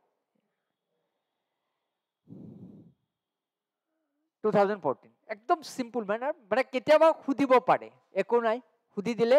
যাতে তোমালোকে বুজি পোৱা এটলিষ্ট প্ৰহিবিশ্যন অফ বেনামী ইয়াক অলপ মই লিখাই দিছোঁ prohibition prohibition of benami benami transaction benami transaction prohibition of benami transactions Amendment Act. Amendment to 2016. এইটো একচুৱেলি আগতো আছিল ইয়াক এমেণ্ডমেণ্ট কৰা হৈছে নাইনটিন এইটটি এইটৰ এক্ট এইটো এইটো এক্ট এনেকুৱা আছিল prohibition of benami transaction act nineteen eighty eight ইয়াক এমেণ্ডমেণ্ট কৰিলে বেনামি মানে কি এজন মানুহে বিভিন্ন মানুহৰ নামত প্ৰপাৰ্টি বনাই ৰাখিছে যাতে এইটো পেৰেলেল ইকনমিক কণ্ট্ৰল কৰিব পাৰে ব্ৰেক ইকনমি ব্ৰেক বাণীক কণ্ট্ৰল কৰিবৰ কাৰণে বুজি পালা এজন মানুহ এক্স মানুহজন নিজৰ নামত প্ৰপাৰ্টিটো আছে ইয়াৰ বাহিৰেও মিছেজৰ নামত প্ৰপাৰ্টি বনাই ৰাখিছে আৰু ল'ৰাৰ নামত ছোৱালীৰ নামত বিভিন্ন ৰকম প্ৰপাৰ্টিবিলাক বনাই ৰাখিছে তেনেকুৱা কৰিছে অলপতে আমাৰ ইণ্ডিয়াৰ কোনোবা এজন তেনেকুৱা আছে নহয় কোনোবাই মই পাহৰি গ'লোঁ নামটো সেইদিনা নিউজত আহিছিল কোনোবা এটা এয়াৰলাইন্স কোম্পানীৰ ডিৰেক্টৰ টকা লৈছে ইণ্ডিয়াৰ পৰা লৈ বিদেশতহে প্ৰপাৰ্টি কিনি দিছে চিফনিং কৰি দিছে ফাণ্ডটোক অঁ ডিফল্ট তাৰ ওপৰতে এইটো এক্ট লাগু হৈছে প্ৰহিবিশ্যন অফ বেনামী তো এইটো একচুৱেলি কি যে prohibition of benami transaction act prohibition of benami transaction act nineteen eighty eight nineteen eighty eight to curb the issue of black money to curb the issue of black money black Manik curve কৰিবৰ কাৰণে black money and money laundering in the country and money laundering in the country ভাৰতবৰ্ষত এতিয়াও মানি laundering বহুত চলি আছে বহুত আছে মানি laundering বুজি পালা মানি লণ্ডাৰিং কেনেকুৱা কেনেকুৱা হ'ব মানি লণ্ডাৰিং কোৱাচোন any idea money laundering high ৰেটত টকা ধাৰে দিয়া ten percent eight percent three percent সেইবিলাক মানি লণ্ডাৰিং চব পৰে চে কোনোবা মানি লণ্ডাৰিং কেনেকুৱা ধৰা এজন এটা শিক্ষা অনুষ্ঠানেই ধৰা যেনেকুৱা অলপ আগত কিছু অলপ কেইদিন আগতে যে বাইজুচ ক'ব নালাগে মোৰ নামটো ওলাই গ'ল মোৰ ইয়াতে বাইজুচক ধৰা বুলি মানি লণ্ডাৰিং এক্টত অৰ্থাৎ এওঁ বিজনেছটো বেলেগ ড'মেইনত কাম কৰিছে বেলেগত দেখুৱাইছে বিজনেছ কৰে মিডিয়া হাউচ কামটো হ'ব মিডিয়াৰ কিন্তু বেলেগত টকা আহিছে চিফুনিং কৰি আছে এইবিলাক কৰি আছে এইবিলাক ইণ্ডিয়াত বহুত চলে এইবিলাক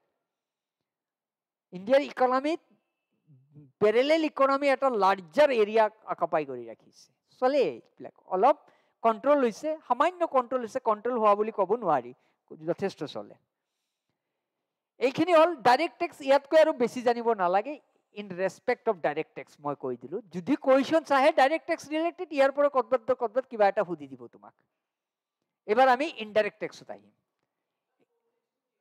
টুল টেক্স টুল টেক্সটো একচুৱেলি টুল টেক্স দুই প্ৰকাৰ হয় মই আহি আছোঁ এতিয়াই আহি আছোঁ টুল টেক্সকো ক'ম টুল টেক্স এটা টুল টেক্স লোকেল গভৰ্ণমেণ্টে কালেক্ট কৰিব পাৰে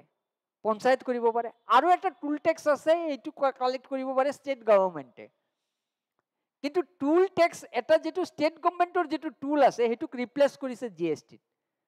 আৰু লোকেল গভৰ্ণমেণ্ট যেনেকুৱা পঞ্চায়ত মই তোমালোকৰ যেতিয়া পলিটি পঢ়াম তাতে টেক্স ৰিলেটেড ফিনেন্সিয়েল যিটো ফেডারেশন চেণ্ট্ৰেল আৰু ষ্টেট গভর্নমেন্টর তাতে মই পঢ়াম কিন্তু ভালকৈ বুজি ল'বা একদম মেইনছলৈকে কুৱেশ্যন আহিব যেতিয়া মই পলিটি কৰাম ন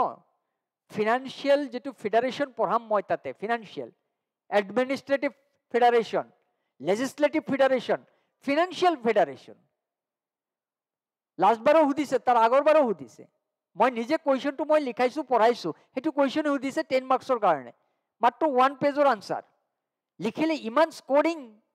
লিখিলে seven and half marks eight marks আহে out of ten financial relation center আৰু ষ্টেট কোনবোৰ টেক্স ষ্টেটে দিব পাৰিব কোনবোৰ টেক্স চেণ্ট্ৰেলে কৰিব পাৰিব কোন টেক্স এভুলেট কৰিব মানে ডিভুলেট কৰিব ডিভলিউশ্যন কৰিব পাৰিব ফাইনেন্স কমিশ্যনে কোন টেক্স ডিভলিউশ্যন কৰিব পাৰিব জি এছ টিয়ে কোন টেক্স ডিভলিউশ্যনৰ কাৰণে এক্ট বনাব পাৰিব পাৰ্লিয়ামেণ্টে এইবিলাক জানিব লাগিব কোন টেক্স ষ্টেট গভমেণ্টে ল'ব পাৰিব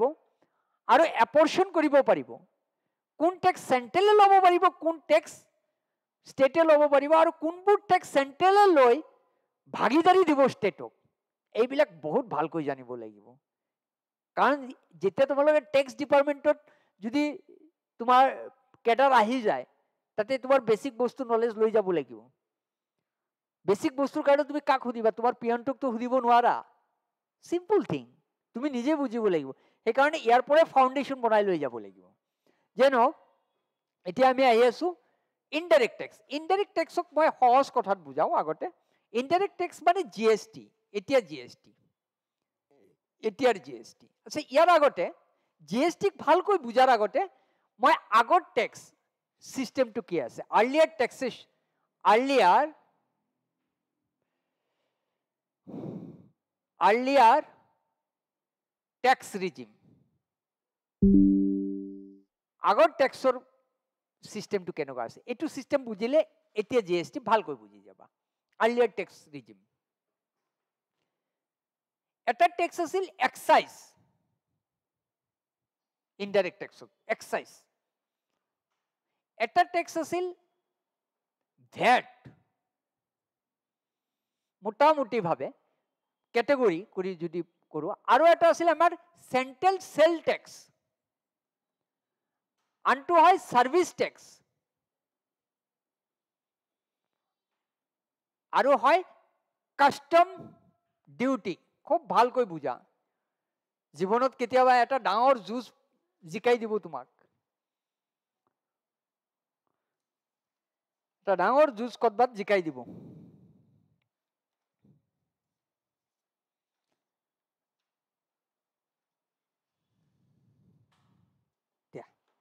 এই বিস্কিট লৈ যোৱা বিস্কুট নাখাব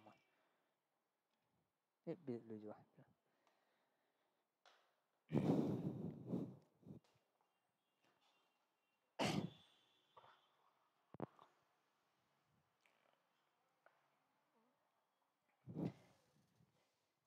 এই যিটো এক্সাইজ বুলি কৈছোঁ আমি আমি ভাৰতবৰ্ষৰ যিকোনো বস্তু উৎপাদন এটা কৰোঁ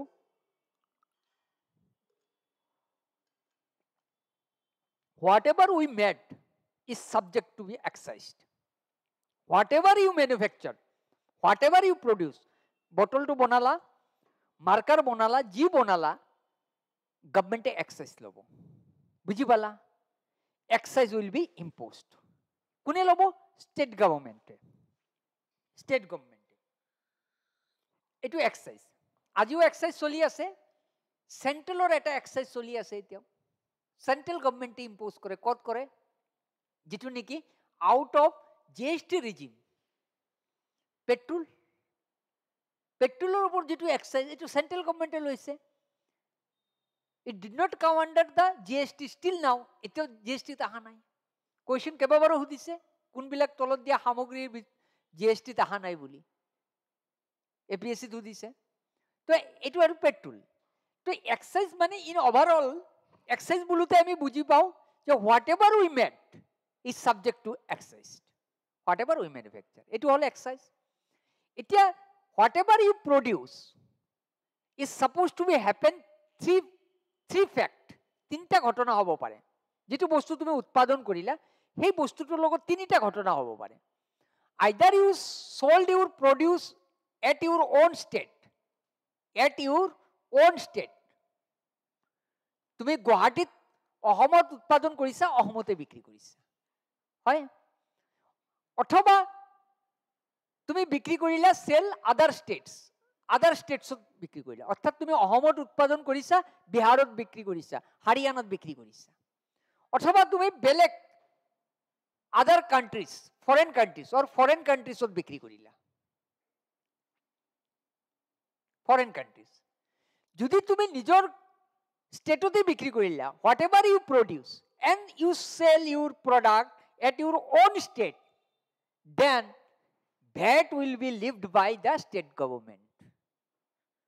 VAT will be levied by the state government বুজি ল'বা একদম মই লিকুইড বনাই দি দিম টেক্স এনেকুৱা কুৱেশ্যন নাই যিটো তুমি টাচ কৰিব নোৱাৰা তেতিয়া ভেট ইম্প'জ কৰিব আচ্ছা এইবাৰ যদি তোমাৰ নিজৰ ষ্টেটত নকৰিলা যেনিবা তুমি তোমাৰ ষ্টেটত প্ৰডিউচ কৰিলা অসমত আমি প্ৰডিউচ কৰিলোঁ বস্তুটো আমি এইবাৰ বিক্ৰী কৰিলোঁ ৱেষ্ট বেংগলত আমি বিক্ৰী কৰিলোঁ বিহাৰত তেতিয়াহ'লে central tax will be levy it তাৰমানে central tax inter state interstate interstate inter state trading क्षेत्र इंटर स्टेट ट्रेडिंग क्षेत्र इम्पोज कर इंटर है ना central tax is levied at the course of inter trade and VAT is levied levied on intra intra interstate এই দুটা শব্দ মনত ৰাখিবাচোন অলপ interstate means within the state interstate মানে border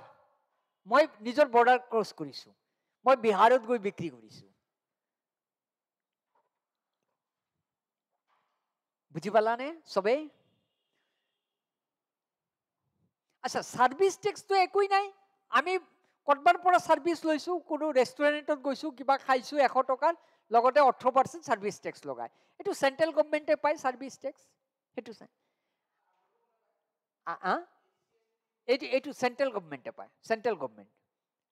central government will levied and collected by also central government এইটো কিন্তু আমি আগত before implementing G S T আমাৰ টেক্সৰ ষ্ট্ৰাকচাৰটো কেনেকুৱা আছে সেইটো বুজাব চেষ্টা কৰিছোঁ মই এতিয়া জি এছ টি খুব সোনকালে বুজি যাবা সহজতে বুজি যাবা আৰু কাষ্টম যিটো আছে it did not change it remain same whatever as earlier this custom duty is levied as per the custom act nineteen sixty one custom act custom act nineteen sixty one ইয়াৰ কোনো পৰিৱৰ্তন হোৱা নাই after implementing of G S T also it remain as earlier আগতে যেনেকুৱা custom আছিল এতিয়াও তেনেকুৱা custom কেতিয়া হ'ব যেতিয়া মই ফৰেন কাণ্ট্ৰিজত মই বিক্ৰী কৰিম custom act nineteen sixty two so it remain as same as earlier আগত যেনেকুৱা আছিল এতিয়াও এনেকুৱা আছে তাৰ কোনো পৰিৱৰ্তন হোৱা নাই even after implementing G S T বুজি পালা এইখিনিলৈকে এক্সাইজ কিবা বস্তু উৎপাদন কৰিছে এক্সাইজ লগাব সেই উৎপাদিত সামগ্ৰী যেতিয়া মোৰ নিজৰ ষ্টেটতে বিক্ৰী কৰিম তেতিয়া ভেট লগাব যিটো ভেট ষ্টেট গভমেণ্টে লগাই কালেক্ট কৰে ষ্টেট গভমেণ্ট অন্যথাই উৎপাদিত সামগ্ৰী আমাৰ ষ্টেটৰ পৰা বেলেগ ষ্টেটত যেতিয়া বিক্ৰী কৰিছোঁ তেতিয়া আমাৰ চেণ্ট্ৰেল টেক্স চেণ্ট্ৰেল গভমেণ্টে ইম্প'জ কৰিব আৰু চেণ্ট্ৰেল গভমেণ্টে কালেক্ট কৰিব আৰু ছাৰ্ভিচ যদি আমি লৈছোঁ ছাৰ্ভিচ টেক্স দিয়া হৈছে আৰু কাষ্টম যদি মই বিদেশত বস্তু সামগ্ৰী বিক্ৰী কৰোঁ আমাৰ উৎপাদিত সামগ্ৰী তেতিয়া আমি কাষ্টম দিব লাগিব as per nineteen sixty two custom act এইটো আগৰ নিচিনাই আছে কোনো পৰিৱৰ্তন হোৱা নাই এইবাৰ বিষয় হয় এই যিটো চেল টেক্স আছে এই চেল টেক্সৰ যিটো ৰিভিনিউ কালেক্ট কৰি আছে চেণ্ট্ৰেল গভমেণ্টে ইয়াৰ কি হয় ইয়াৰ ভাগ হয় ডিভলিউশ্যন হয় ডিভলিউশ্যন হয় to the state to the state from where goods originated এইটো বস্তু আগৰ টেক্স অৰিজিনেটেড এইখিনি বস্তু বুজিব লাগিব খুব টেকনিকেলিটি জিনিছ বিষয় আছে devolution to the state from where goods originated মই কি ক'ব বিচাৰিছোঁ এতিয়া চে চেণ্ট্ৰেল গভমেণ্টে চেল টেক্স কালেক্ট কৰিছে হয় চেল টেক্স কালেক্ট কৰিছে সেই চেল টেক্সৰ যিটো ৰিভিনিউ অংশীদাৰী কোনটো ষ্টেটক দিব যিটো ষ্টেটৰ পৰা সামগ্ৰী উৎপাদন হৈ আহিছে অৰ্থাৎ মোক ক'বলগীয়া বিষয়টো এইটো শুনিবা ভালকৈ যে এতিয়া আছামৰ পৰা চে ৱেষ্ট বেংগলত বস্তু বিক্ৰী হৈছে অৰ্থাৎ ইণ্টাৰ ষ্টেট ট্ৰেডিং হৈছে উৎপাদন হৈছে অসমত বিক্ৰী হৈছে ৱেষ্ট বেংগলত তো অসমত উৎপাদন হোৱাৰ লগে লগে আসাম গভমেণ্টে কি পালে এক্সাইজ পাই গ'ল ভেট কিন্তু আসাম গভমেণ্টে পোৱা নাই ভেট নাপালে কিয় বস্তুখিনি বিক্ৰী কৰিছোঁ মই ৱেষ্ট বেংগলত এইবাৰ central গভমেণ্টে C C S sale tax লৈ ল'লে চেণ্ট্ৰেল চেল টেক্স ল'লে কাৰণ ইণ্টাৰষ্টেট ট্ৰেডিং হৈ গ'ল তো কিমান টকা যিমানেই আছে টেন লাখ কালেক্ট কৰিছে ইয়াৰ এটা অংশ আছাম গভমেণ্টে পাব বুজি পালা সেইকাৰণে আমি ইয়াতে লিখিছোঁ devolution to the state from where goods originated য'ৰ পৰা বস্তু অৰিজিনেট হৈছে সেইটো ষ্টেট গভমেণ্টে পাব বুজি পালাতো কাৰণ এইখিনি বস্তু বুজিব লাগিব এইবাৰ জি এছ টি কি কৰিছে এইবাৰ জি এছ টি চোৱা জি এছ টি কাক ছাবজুমড কৰিছে G S T subsumed excise excise G S T subsumed কৰিছে জি এছ টি ছাবজুম কৰিছে excise VAT central sale tax service custom একে আছে এই চাৰি প্ৰকাৰ টেক্সক ছাবজুমড কৰিছে that is G S T subsumed G S T subsumed excise VAT central cell tax and service tax একেটা সাবজুম কৰিছে কাষ্টম যেনেকুৱা আছে আগৰ নিচিনাই আছে কোনো পৰিৱৰ্তন হোৱা নাই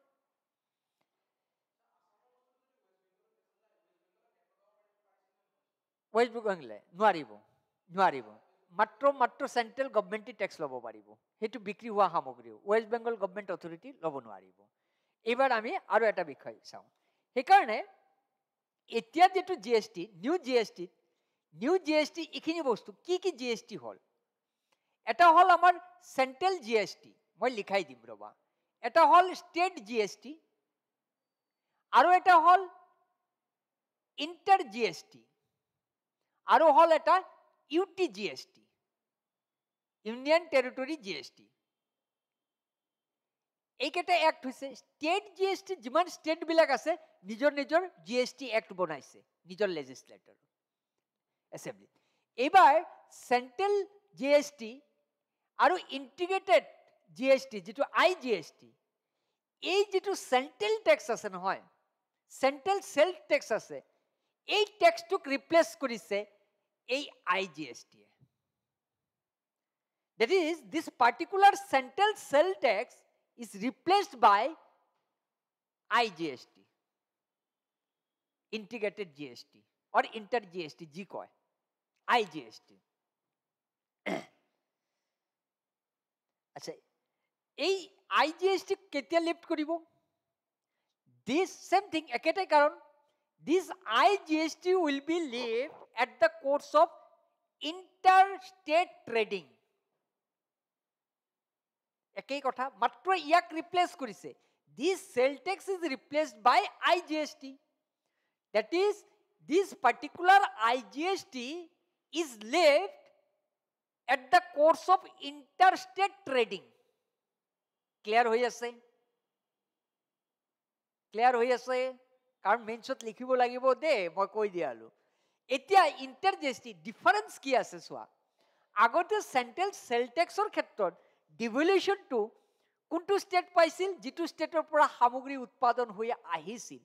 কিন্তু আই জি এছ টিৰ কাৰণে এক সামান্য পাৰ্থক্য আছে আই জি এছ টিৰ ক্ষেত্ৰত এই ডিভলিউশ্যনটো যাব কনজামশ্যন ষ্টেট আৰু এবুল টু আণ্ডাৰষ্টেণ্ড ইয়াতে যেনেকুৱা আছাম পাই আছিল এইবাৰ ৱেষ্ট বেংগল পাব this is the fundamental difference fundamental difference between IGST and central sales tax কেইবাবাৰ question সুধিছে reserve bank grade B state কেইবাটাও চিভিল ছাৰ্ভিচত এইটো কুৱেশ্যনছ ইউ পি এছ চিটো এটা কুৱেশ্যনছ কেইবাবাৰো সুধিছে so' this is the fundamental difference between I G S T and central sale tax in case of central sale tax the devolution goes to the originated state from where goods is originated to that states from where goods is originated but in case of igst devolutions goes to the consumption state that is why gst is called consumption based tax have you heard this term this is frequently used the gst is called consumption based test বুঝি পালা হোৱাই it is called consumption based trade যে এইটো consumption based tax কিয় কোৱা হয় কাৰণ বিশেষকৈ I G S T ডিভুলেশ্যনটো সেই ষ্টেটকে যাব যোনটো ষ্টেট কনজামশ্যন কৰিছে সামগ্ৰী যোনটো ষ্টেট যোনটো ষ্টেটৰ পৰা অৰিজিনেট হৈছে সেই ষ্টেটে নাপাব ক্লিয়াৰ হৈ আছে ইয়াৰ কাৰণে কি ইকনমিক্স থ'ব লাগে নেকি বহুত ইকনমিক্স আছে সুধিবাচোন খবৰেই নাৰাখে ক'ত গৈছে ইকনমিক্সৰ নলেজ আমি যেতিয়া কম্পিটিটিভ এক্সামৰ কাৰণে প্ৰিপাৰেশ্যন কৰোঁ তেতিয়াই আমি এইবিলাক কথা জানো বা শিকোঁ আৰু competitive exam that is why basically related to our daily life কাৰণ যিসকল পলিচি মেকাৰ হ'ব নহয় ইহঁতে এইকেইটা ডিল কৰিব লাগিব ডেইলি নিত্য সেইকাৰণে তাতে শিকিব লাগিব আৰু সেইটো তুমি পঢ়িলে নাই এতিয়া তুমি নিউজ পেপাৰ আহি থাকিব তুমি বুজি থাকিবা যে আজি জি এছ টি ৰিলেটেড এইটো নতুন বিষয় আহিছে কাইলৈ এইটো বিষয় আহিছে তেতিয়া পঢ়িলে তোমাৰ বেছি ভাল লাগিব আৰু নুবুজাকৈ যেতিয়া পঢ়িব যাবা ন then it will make you annoyed তোমাক বিৰক্তি বনাই দিব বিৰক্তিকৰ লাগিব তোমাৰ তেতিয়া তোমাৰ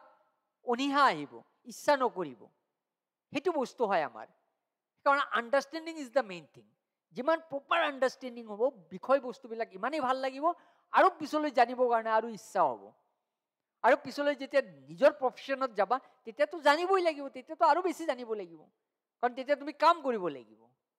সেইটো হ'ল আমাৰ ইণ্টাৰষ্টেড চ' চেণ্ট্ৰেল চেল টেক্সৰ ক্ষেত্ৰত একেটাই কথা ইয়াৰ ডিভলিউশ্যনছ য'ৰ পৰা বস্তু সামগ্ৰী উৎপাদন হৈ আহিছে যিটো ষ্টেট সেই ষ্টেট অথৰিটি পাব আৰু আই জি এছ টিৰ ক্ষেত্ৰত সেই ষ্টেটে পাব যি যিখন ষ্টেটে কনজামশ্যন কৰিছে বস্তু সামগ্ৰী this is the fundamental difference এইবাৰ অলপ বস্তু লিখি লোৱা সামান্য বস্তু মই দি আছোঁ ডিটেইলছ অলপ ডিটেইলছ তলত লিখি ল'বা ডিটেইলছ একোৱেই নাই ডিটেইলছ লিখি আণ্ডাৰলাইন কৰি লোৱা ডিটেইলছ ফাৰ্ষ্ট এটা পইণ্ট লিখা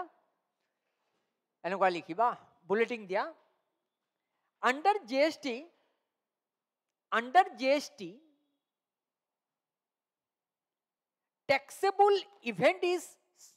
taxable event taxable event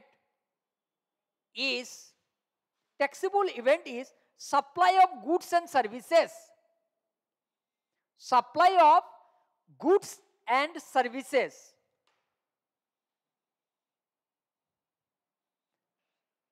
full stop আগতে কি আছিল বস্তু উৎপাদন কৰা হৈছে ভালকৈ বুজিবা অথবা চেল কৰা হৈছে then that will be subject to be taxed বস্তু আমি উৎপাদন কৰোঁ লেপটপটো বনাইছোঁ এক্সাইজ লাগিছে এইবাৰ এক্স লেপটপ বজাৰত লৈ মই গৈ মই বিক্ৰী কৰিছোঁ ভেট অথবা চেণ্টেল চেণ্টেল লাগিছে এইবাৰ সেই খেলা নাই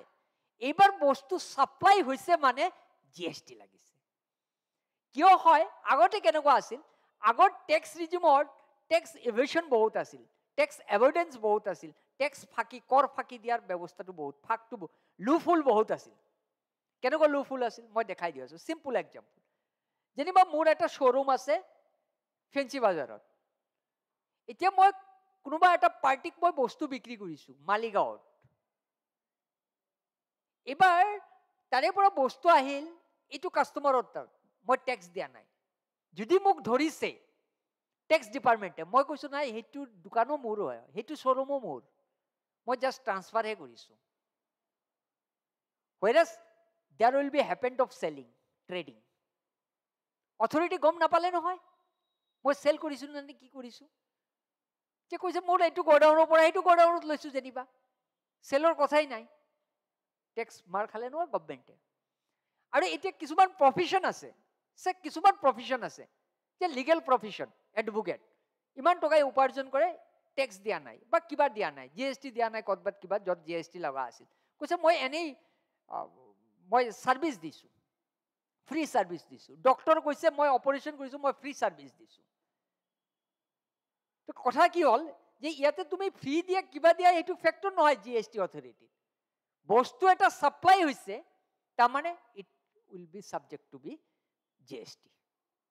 supply হোৱা মানেই জি এছ টি এতিয়া কোনোবাই কৈছে যে মই এনেই মই ফ্ৰী লঞ্চিং কৰিছোঁ মই ফ্ৰী দিছোঁ ছাৰ্ভিচ সেয়া নহ'ব তুমি সাৰ্ভিস ডেলিভাৰি কৰিছা that means it will be taxed ডক্টৰে কৈছে নাই মই সুইসাইটি ওয়েলবিং কাৰণে মই ফ্ৰি সাৰ্ভিস দিয়া কোনে জানে তুমি ফ্ৰি কৰিছা না নাই এনেকুৱা আছে কিছুমান একো একোটা অপাৰেশন অপাৰেট কৰিবৰ কাৰণে five lakh seven lakh eight লাখলৈকে লৈ লয় ডক্টৰ জানা না নাই ইমান টকা লয় আৰু কৈছে মই ফ্ৰী দিছোঁ পেচেণ্টক কৈছে আপোনালোকে নকব মই ফ্ৰী দিছোঁ গতিকে আপোনাৰো জি এছ টি বাচি গ'ল মোৰো বাচি গ'ল আল্টিমেটলি কি হ'ল গভমেণ্ট মাৰ খাই আছে ন টেক্সৰ পৰা তো গতিকে এই টেক্সক কোৱা হৈছে যে in the event of supply of goods and services not in the event of consumption or manufacture or sale anything whatever বস্তু ছাপ্লাই হৈছে মানে জি এছ টি আহিছে আৰু এটা বিষয় লিখা G S T is a অলপ আগতে কলো যিটো আমি G S T is a consumption consumption based tax consumption based tax consumption based tax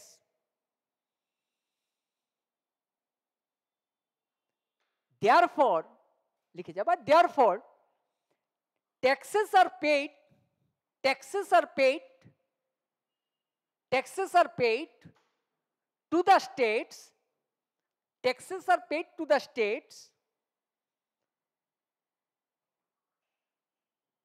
where the goods and services where the goods and services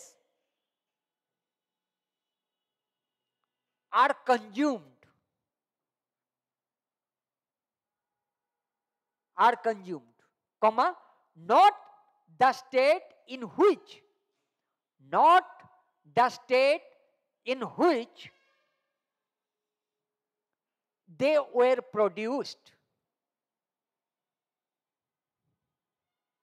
They are produced.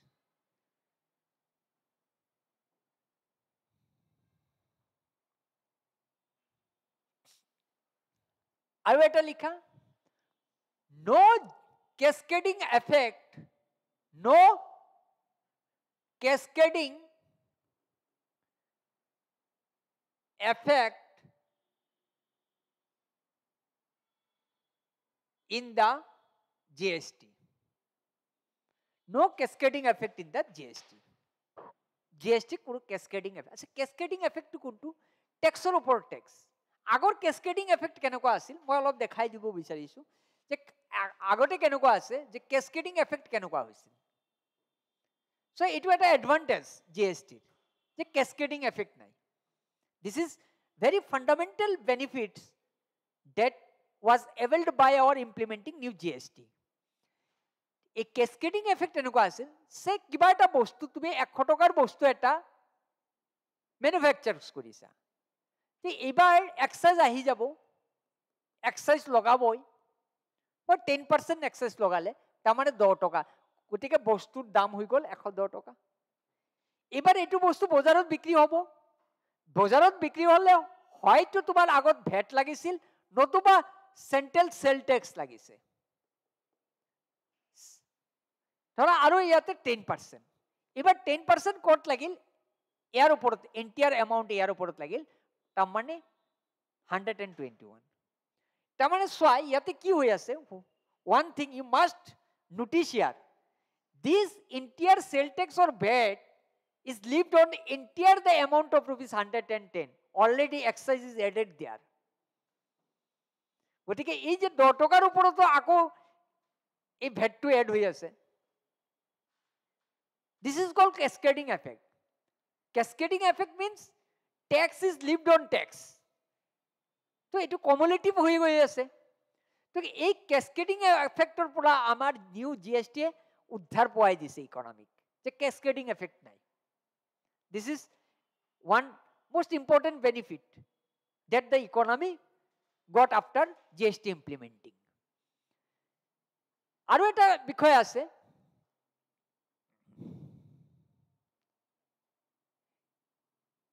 input input tax credit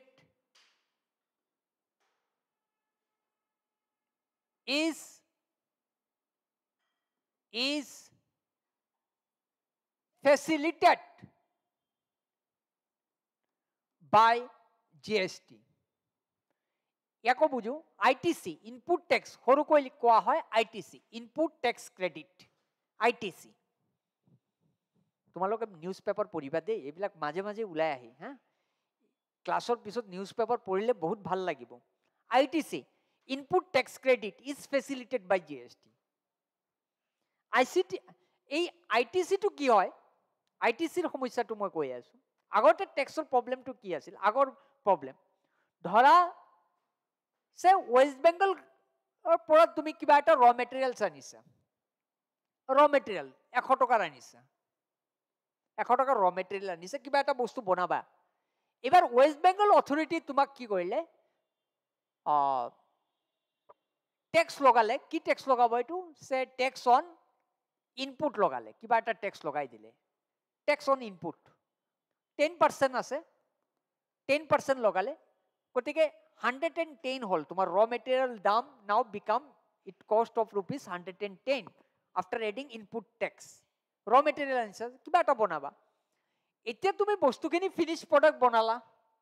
হয় finish product বনালেতো দাম হ'ব কিবা finish product বনোৱাৰ পিছত আকৌ excise লাগিল নে নাই আকৌ ধৰা মই টেন পাৰ্চেণ্ট এক্সাইজ লাগিল এই এক্সাইজ কাক দি আছা তুমি আছাম গভমেণ্টক এই ইনপুট টেক্স কাক দিছা তুমি ৱেষ্ট বেংগল গভমেণ্টক এইবাৰ এক্সাইজ লগালে আৰু এঘাৰ টকা চে এইবাৰ কি কৰিলা তুমি বস্তুটো যেনিবা বনালা বনোৱাৰ পিছত বিক্ৰী কৰিবা এইবাৰ কৰিলা কি তুমি বিক্ৰী কৰিলা চে হাৰিয়ানাত বিক্ৰী কৰিলা গতিকে চেণ্ট্ৰেল চেল টেক্স লাগিল টেন পাৰ্চেণ্ট মই ধৰি ললোঁ আৰু এঘাৰ টকা কিবা পইচা এনেকুৱা কিবা আহিল কেচকেডিং এফেক্টটো আছেই ইয়াৰ বাহিৰতো আৰু এটা কি বিষয় হৈ আছে চাই লোৱা এওঁ কি কৰিব এই পাৰ্টিটো ক'ব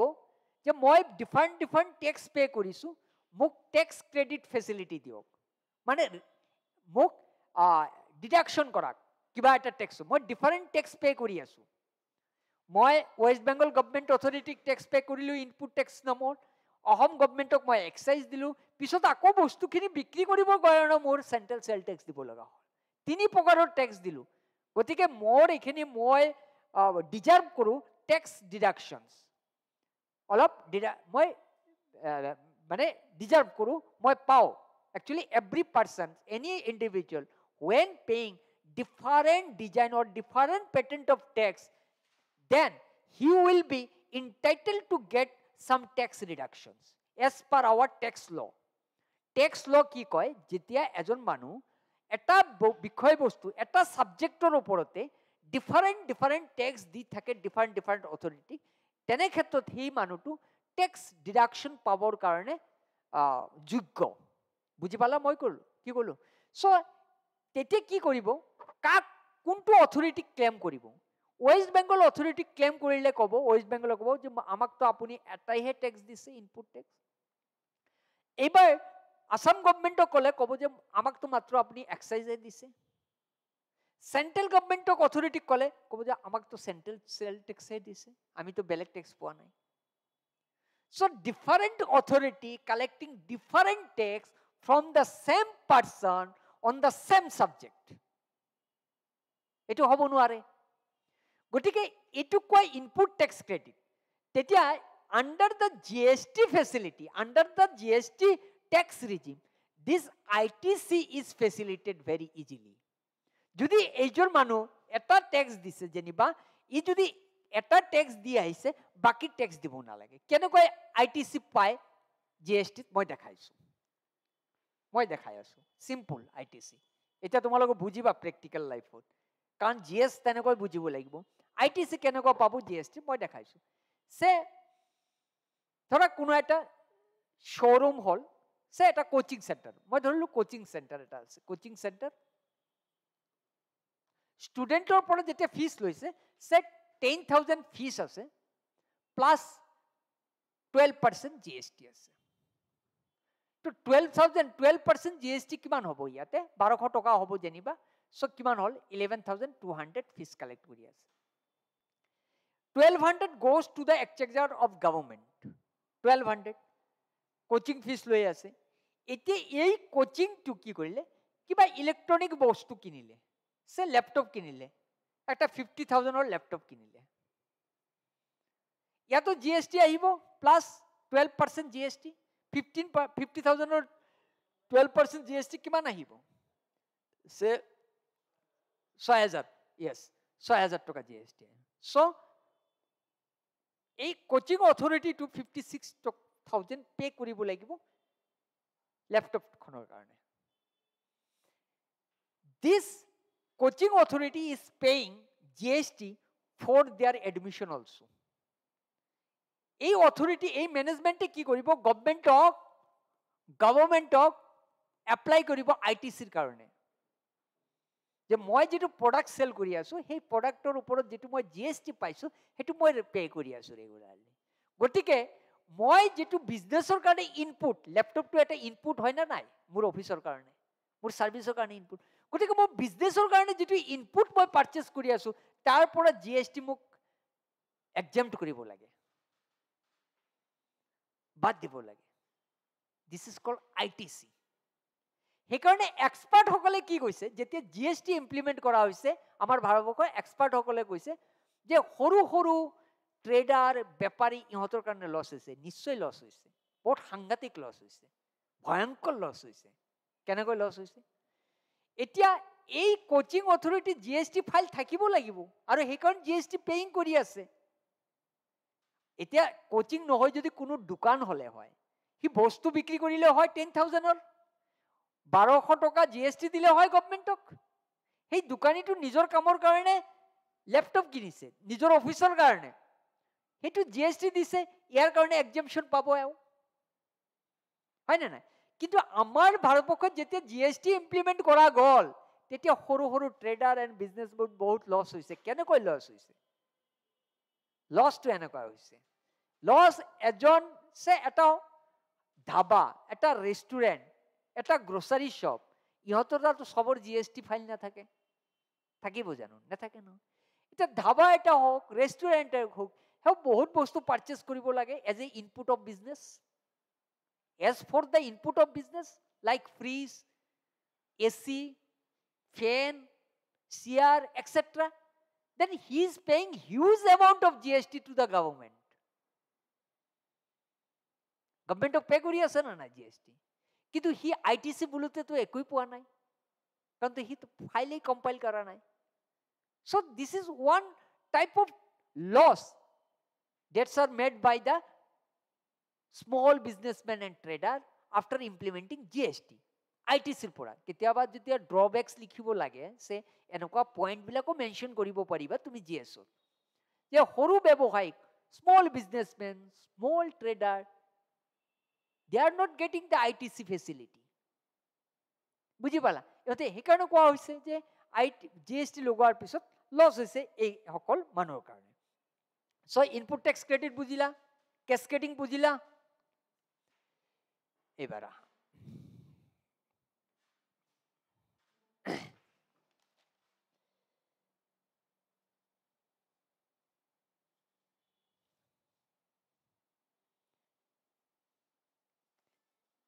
next લખીબા in 2003 in 2003 the Calcor task force Calcor task force মনত ৰাখিবা সুধি দিব পাৰে এক্সামত Calcor task force on indirect tax indirect taxৰ ওপৰত এইটো task force হৈছিল indirect tax In 2003, the Calcutta Task Force on Indirect Tax had mentioned, had mentioned or recommend কৰিছে বুলি ক'ব পাৰি had mentioned a comprehensive comprehensive comprehensive goods and service tax goods and service tax GST এই ক্যালকট টাক্স force এও recommend করে কমিটিটির নাম মনত রাখবা একজামত সুধি দিব পারে Kelkar tax force GST which is based on the principle of VAT which is based on the principle principle of VAT value added tax, VAT. VAT part of value added tax. What is this principle?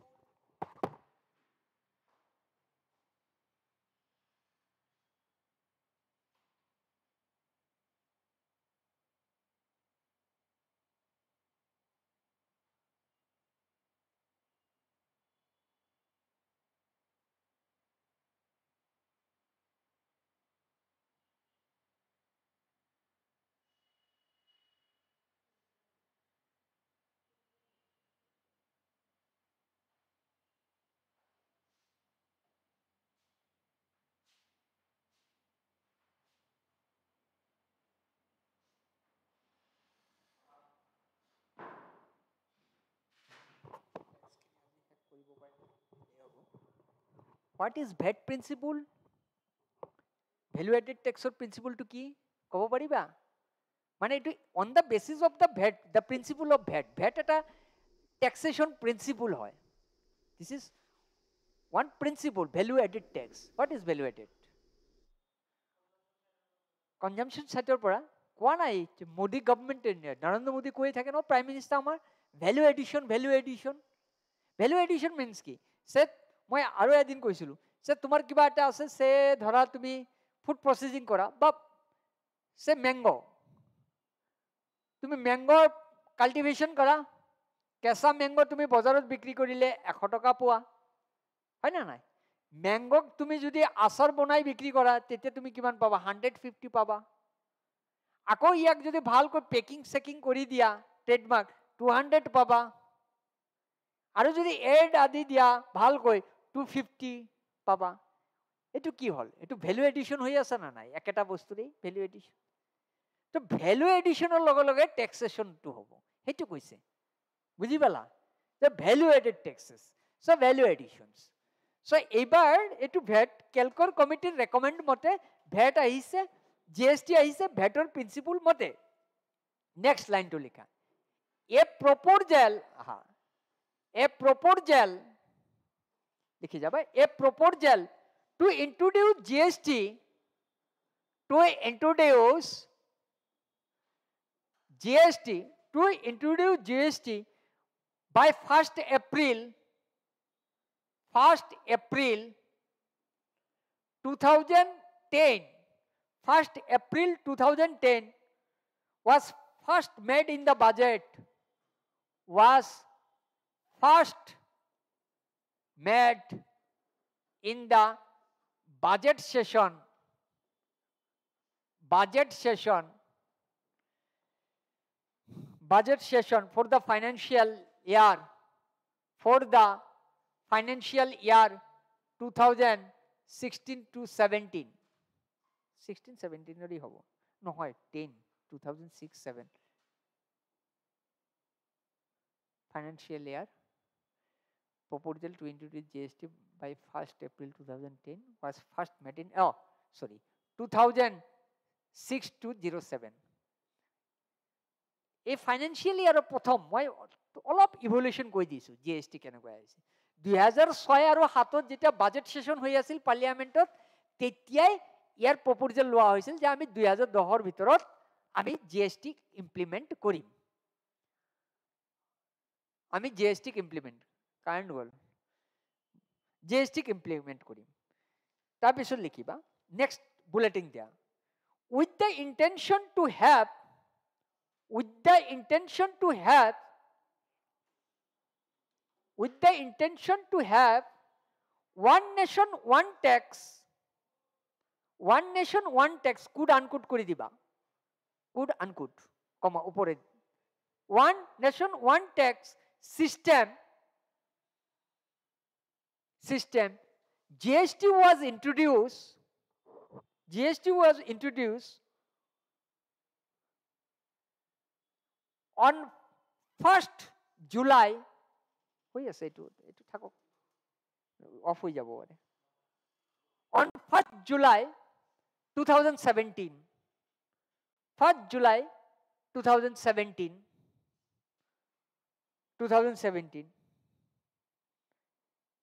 and is applicable and is applicable throughout the country and is applicable throughout the country. Next slide. Next bulleting di likhiba. It was introduced, yak introduce kora hoise. It was introduced as the constitution as the constitutions 101st 101 হবো না হবো লাগে না 101 101st amendment act amendment act 2017 101 hundred and first बोली को hundred and one amendment act two thousand seventeen full next bulletin दिया through this amendment through this amendment through this amendment three new articles three new articles Where introduce both important, Where introduce.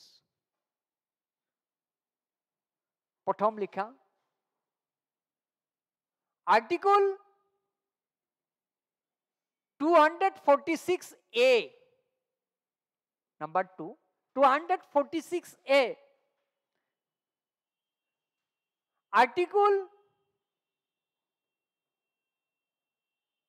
269a 269a yes article 279a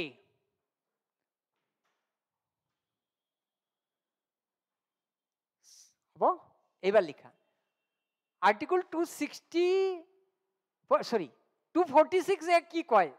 লিখিবা two forty six A both Etah line लिखा both the parliament लिखी जाबा both the parliament both the parliament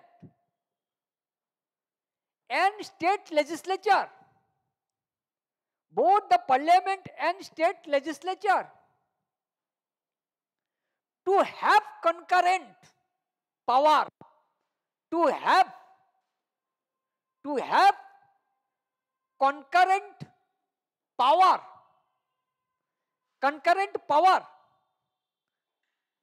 to make laws to make laws related to GST to make laws related to GST full stop however however however the parliament to retain however the parliament parliament to retain, রাখিত হৈছে to retain exclusive power exclusive power exclusive power to legislate to legislate in case of interstate gst in case of inter state এনেকুৱা লিখিব পাৰা inter state inter state inter state trade of trade of goods and services অলপ আগতে কৈ আহিছোঁ inter state trade যাক I G S T দি কৰাইছে সেইটো যিটো টেক্স লয় সেইটো আই জি এছ টিৰ নামত লয় inter state trade of goods and services cross border বুঝি পালা তাৰমানে I G S T can be levied by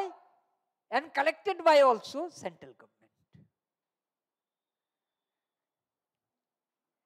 এবার লিখায় আৰু কি থাকিল আৰ্টিকল টু ছিক্সটি নাইনত লিখি যাবা অলপ in case of in case of ইন্ট্ৰাষ্টেট inter নহয় ইণ্ট্ৰা টি আৰ এ দিবা মাত্ৰ I N T R A intrastate trade ব্যবহার ট্রেড মানে ব্যবহার trade where GST where GST is lived is lived is lived and collected and collected by the Union government, by the Union government, comma, the tax revenue proceed, the tax revenue proceeds, tax revenue proceeds, apportion, to be apportion, bhag hobo, to be apportion apportion, to be apportioned, to be apportioned by the center, সেন্টারের দ্বারা অ্যাপোর্শন করাবো ভাগ করাবো by the centre কার ভিতরত between the centre and the state between the centre and the state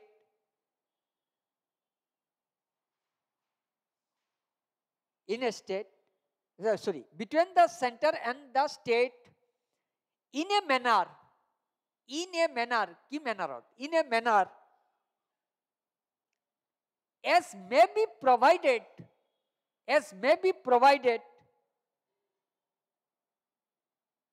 may be provided by the parliament law, by the parliament law কিন্তু recommendation কৰিব লাগিব on the recommendation of G S T council on the recommendation of G S T council content খুব সাৱধানে পঢ়িবা দেই কণ্টেণ্টত একদম সাগৰ সোমাই থাকে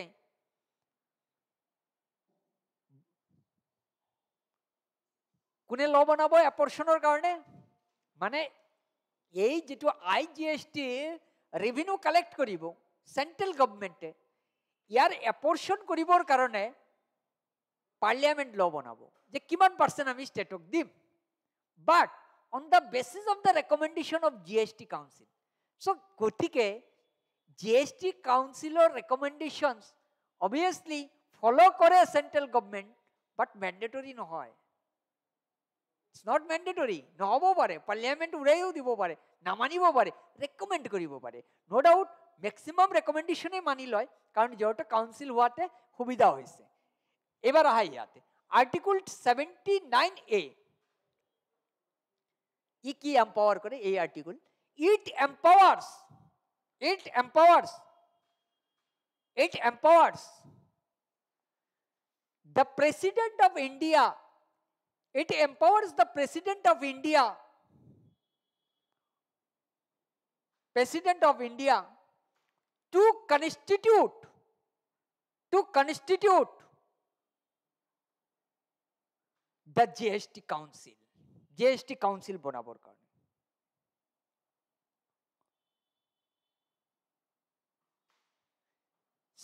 হয় চাৰিটা ছেপাৰেট এক্ট বনালে তাৰ তলত লিখা four separate act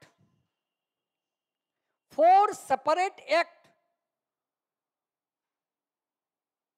were enacted four enacted এইটো four separate act were enacted. Number one, central GST. সৰুকৈ ইয়াক লিখা হয় S sorry C G S T integrated G S T integrated G S T সৰুকৈ লিখা হয় I G S T I GST. GST compensation to state.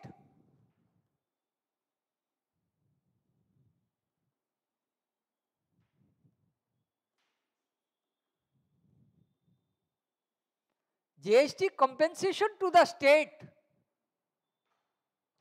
act এইটো two thousand ছেভেণ্টিনত লোৱা হৈছে এইটোৰ কথা কোনেও নকয় বাকী দুটাৰ কথা কৈ থাকে আৰু U T union territory G S T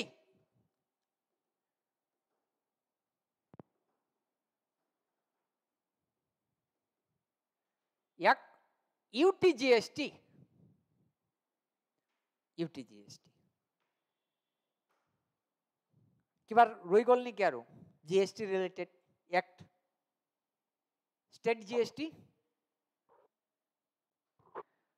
to GST compensation to the States Act 2017. Union Territory GST, UGST. কিবার রই গল না নাই state state GST to union গভর্নমেন্টে ন করে accordingly all the state government legislate state GST সেইটো separate হল গতিকে আমাৰ ইউনিয়ন গভৰ্ণমেণ্টৰ লিষ্টত অহা নাই ইউনিয়ন গভৰ্ণমেণ্টে যিটো যিটো কৰিছে চেণ্ট্ৰেল জি এছ টি বুজি পালা মোবাইল বজাৰত কিনিব গৈছে ন শ্ব'ৰুমত ভাল চাই ইনভইচ চাইছে নে নাই কেতিয়াবা চোৱাই নাই জীৱনত মাক দেউতাই কিনে না তুমি কিয় চাবা কিনি দিছে চাব লাগে তাতে থাকে না নাই ছয় percent central G S T ছয় পাৰ্চেণ্ট নাথাকে নেকি কি চোৱা এইবিলাক চাব লাগে অলপ ত' চেণ্ট্ৰেল জি এছ টি আৰু ষ্টেট জি এছ টি ছয় পাৰ্চেণ্ট ছয় পাৰ্চেণ্ট লয়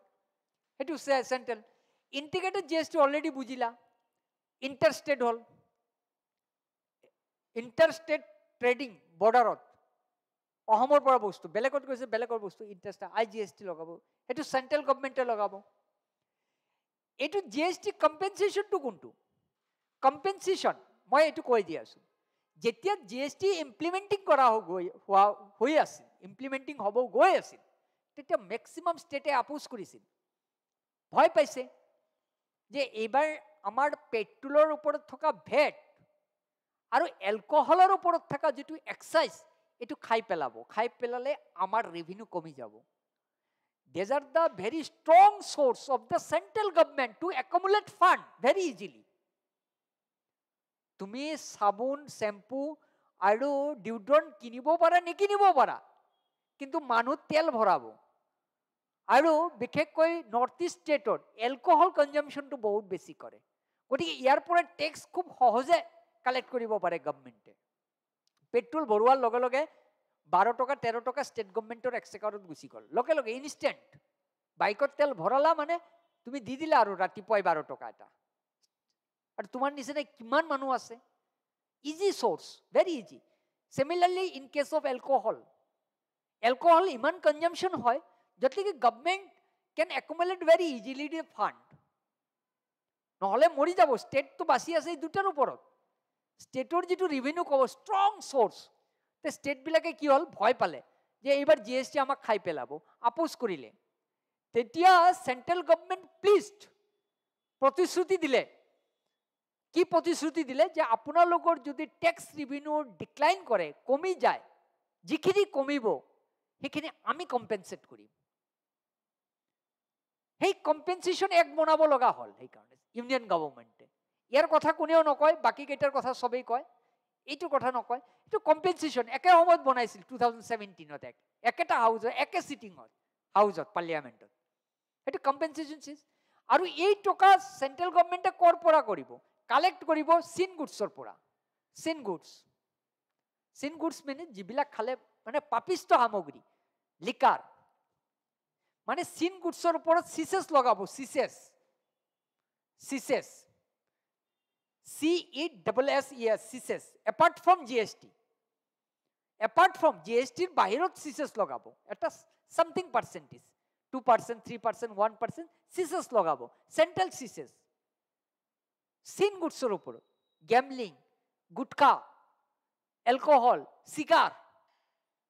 চীন গুডছৰ পৰা যিটো টকা ৰেভিনিউ কালেক্ট হ'ব চেণ্ট্ৰেল গভমেণ্টে সেই টকাৰ পৰা কম্পেনচেশ্যন দিব ষ্টেট গভমেণ্টবিলাকক যিটো নেকি ক'ভিডৰ পিছত দিব পৰা নাই চেণ্ট্ৰেল গভমেণ্টে অলপ কেইদিন আগতো আহিছিল ইয়াৰ নিউজ নিউজ কাভাৰ কৰিবা দে মই যি যি পঢ়াই আছোঁ প্লিজ মই বাৰে বাৰে কৈছোঁ নিউজ পেপাৰ পঢ়িবা কণ্টেণ্ট পঢ়িবা আণ্ডাৰষ্টেণ্ডিং মেচিং হ'ব তোমাৰ লগত যিমান ভালকৈ বুজিবা ন যিমান ক্লাৰিটি থাকিব তোমাৰ আণ্ডাৰষ্টেণ্ডিঙত ইমানেই তুমি ৰাজা হ'বা ইয়াতে পঢ়ি কাম নাই মই বাৰে বাৰে কওঁ নহয় যে ক'বা যে ছাৰে কি কয় পঢ়িব মানা কৰে মই পঢ়িব মানা কৰোঁ পঢ়িলে লাভেই নাই পঢ়ি আজিলৈকে কোনেও ক্লিয়াৰ কৰিব পৰা নাই মানে পঢ়ে মানে সেই যিটো নেলাগে সেইটো গৈ পঢ়ে যিটো প্ৰয়োজনেই নাই কুৱেশ্যনেই নুসুধিব তো এইটো তাতে এই চিচুৱেশ্যনৰ পৰা যিটো কালেক্ট হ'ব সেইটো কম্পেনচেশ্যন দিব ষ্টেটক যিটো ক'ভিডৰ পিছত দিব পৰা নাই লাষ্ট টু ফাইনেন্সিয়েল ইয়াৰত নিৰ্মলা সীতাৰাম ষ্টেটবিলাকক কৈছে আপোনালোকে বড়ো কৰোঁ ৰিজাৰ্ভ বেংকৰ পৰা আমি এইবাৰ কম্পেনসেশন দিব নোৱাৰিম কাৰণ ক'ভিড লকডাউনৰ কাৰণে কম্পেনচেশ্যনছ আমাৰ দিয়াৰ কাৰণে কেপাচিটি নাই আমাৰ এইটো এই বুলি কৈছে আৰু এইটো ইউনিয়ন টেৰিটৰী ইউনিয়ন টেৰিটৰী কোনবিলাক যিবিলাক ইউনিয়ন টেৰিটৰীত নিজৰ লেজিছলেচাৰ নাই যিসকলে লেজিছলেট একচেপ্ট দিল্লী পুডুচেৰী কাশ্মীৰ হা বাকী যিকেইটা আছে এইকেইটা ইউটিৰ কাৰণেতো ল বনাব লাগিব সেইটো কোনে বনাব চেণ্ট্ৰেল ইউনিয়নে বনাই দিব লাগিব লটো হয় না তো সেইকাৰণে ইহঁতৰ কাৰণে ইউনিয়ন ল' বনাই দিছে আৰু একৰ্ডিংলি যিমান all the state government legislate they are on state G S T নিজৰ নিজৰ ষ্টেট জি এছ টিক ইনেক্টমেণ্ট কৰিলে বনালে এতিয়া inter state G S T মাত্ৰ এইটো হয় এগেন মই ব্ৰাছিং কৰি দিলোঁ যে inter G S T this tax is levied at the course of inter-trade trading of goods and services. You must remember, you keep in your brain. And these taxes lived by central government and also collected by central government. Again, the revenue collected from IGST will be apportioned by the central government between the center and state. Basically, revenue goes to the consumption state. মনত থাকিব তো this GST compensation you understand this compensation will be collected from CISES that will be lived on the sin goods and union territories the all the union territories those don't have their own legislatures union government made law in, in related to GST In respect of GST implementing এই কেটা GST এতে হয়ে গেল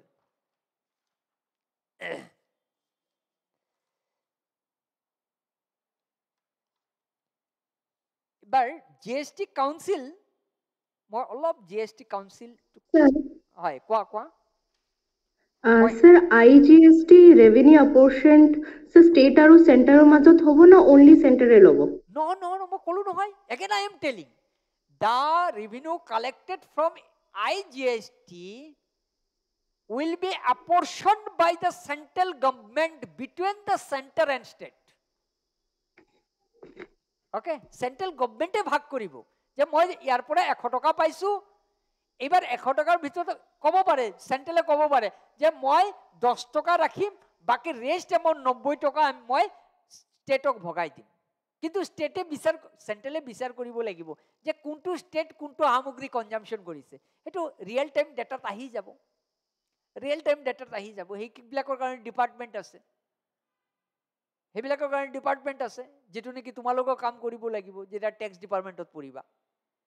tax ডিপাৰ্টমেণ্টত আহি cadre যদি টেক্সত পৰে সেইবিলাক কাম তুমি কৰিব লাগিব তোমালোকক দি কৰাব যে কোন টেক্স ক'ৰ পৰা আহি আছে চ' যে নহওক চ' এইটো ভাগ হ'ব চেণ্টাৰ আৰু ষ্টেটৰ মাজে কিন্তু চেণ্টাৰে কৰিব চেণ্টাৰ অথৰিটি কৰিব চেণ্টাৰে কৰিব পাৰিব এইটো হ'ল integrated I G S T আৰু সেইটো ষ্টেটে পাব য'ত কনজামশ্যন হ'ব গুডছ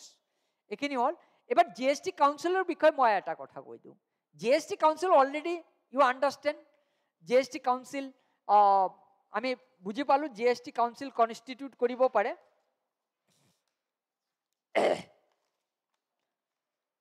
অনলাইন বাকী কিবা ডাউট আছে নেকি ডাউট থাকিলে সুধিবা so' what about the G S T council যে article two hundred seventy nine A empower the president of India to constitute the GST Council. GST Council. And the Union Finance Ministers will be the chairman of this GST Council. Nirmala Sitaram Nirmala Sitaram is the chairman of the G S T council and all the finance ministers of all state are made as member of the council okay কিন্তু ইয়াতে অলপ বিষয় আছে মই shortcut কৰিছোঁ মই আজি tax related কথাখিনি বহুতখিনি আগুৱাই দিম আৰু এটা ছেশ্যনত পাব্লিক বহুত ইম্পৰ্টেণ্ট এই চেপ্টাৰটো ঢেৰ চাৰা কুৱেশ্যনছ আহে মেইনছত বহুত কুৱেশ্যন সুধি দিয়ে সেইকাৰণে স্ক্ৰিপ্টো কৰিব নোৱাৰোঁ স্ক্ৰিপ্ট কৰিলে নিজৰ মনতে কিবা এটা লাগি থাকে জি এচ টি কাউঞ্চিল এইকেইটা কথা ইম্পৰ্টেণ্ট কথা মনত ৰাখিবা জি এচ টি কাউঞ্চিল এটাতো বুজি পালা এইটো বুজি পালা hundred ten one first amendment amendment act যিটো আৰ্টিকুল ইনচাৰ্ট কৰিছে article article two hundred seventy nine A inserted এইটো আৰ্টিকুল বনালে two hundred seventy nine A union finance minister union finance minister as a chairman এই কথাও বুঝি পালা এই বিষয়ে and all finance minister of all state are made as member of the council লিখি ল'বা of the council কাউন্সিল বনাই দিলে আচ্ছা ইয়াৰ কাৰণে মেইন প্ৰায় কেতিয়াবা সুধি দিয়ে ইয়াৰ কাৰণে কোৱাৰাম জি এছ টি কাউন্সিলৰ কাৰণে কোৱাৰাম লাগে যে কিমান মেম্বাৰ থাকিলে ৰিজলিউশ্যন ল'ব পাৰিব মিটিং হ'ব পাৰিব fifty percent required for quorum fifty percent required for কোৱাৰাম কোৱাৰাম মানে ৰিজলিউশ্যন একচেট্ৰা ল'বৰ কাৰণে ৰিজলিউশ্যন মানে মিটিং বহিবৰ কাৰণে কিবা এটা ৰিজলিউশ্যন ল'ব লাগে resolution requires seventy five percent voting voting seventy five percent voting present and voting present and voting বুলি দিলে ভাল বা প্ৰেজেণ্ট প্ৰেজেণ্ট এণ্ড ভোটিং দিয়া seventy five percent present and voting present থাকিব লাগিব ভোটিং হ'ব লাগিব ৰিজলিউশ্যন ল'বৰ কাৰণে ফাইনেল ডিচিশ্যন ল'বৰ কাৰণে আৰু এটা ভোটিং ৱেইটেজ চেণ্ট্ৰেল গভমেণ্টৰ ভোটিং ৱেইটেজ এইটো বহুত ইম্পৰ্টেণ্ট ক'ৰবাত সুধিছিল voting ৱেইটেজ ৱেইটেজ for central government one third one third for state government state government two third two third two third लगी टू थर्ड सेंट्रल गवर्नमेंट लगी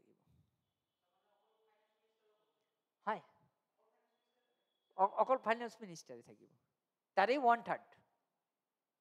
চৰি টু থাৰ্ড কিমান দিলোঁ চেণ্ট্ৰেলত ওৱান থাৰ্ড চেণ্ট্ৰেলত আৰু ষ্টেটবিলাকত two third one third plus two third one ওলাব one ওলাই যাব তেনেকুৱা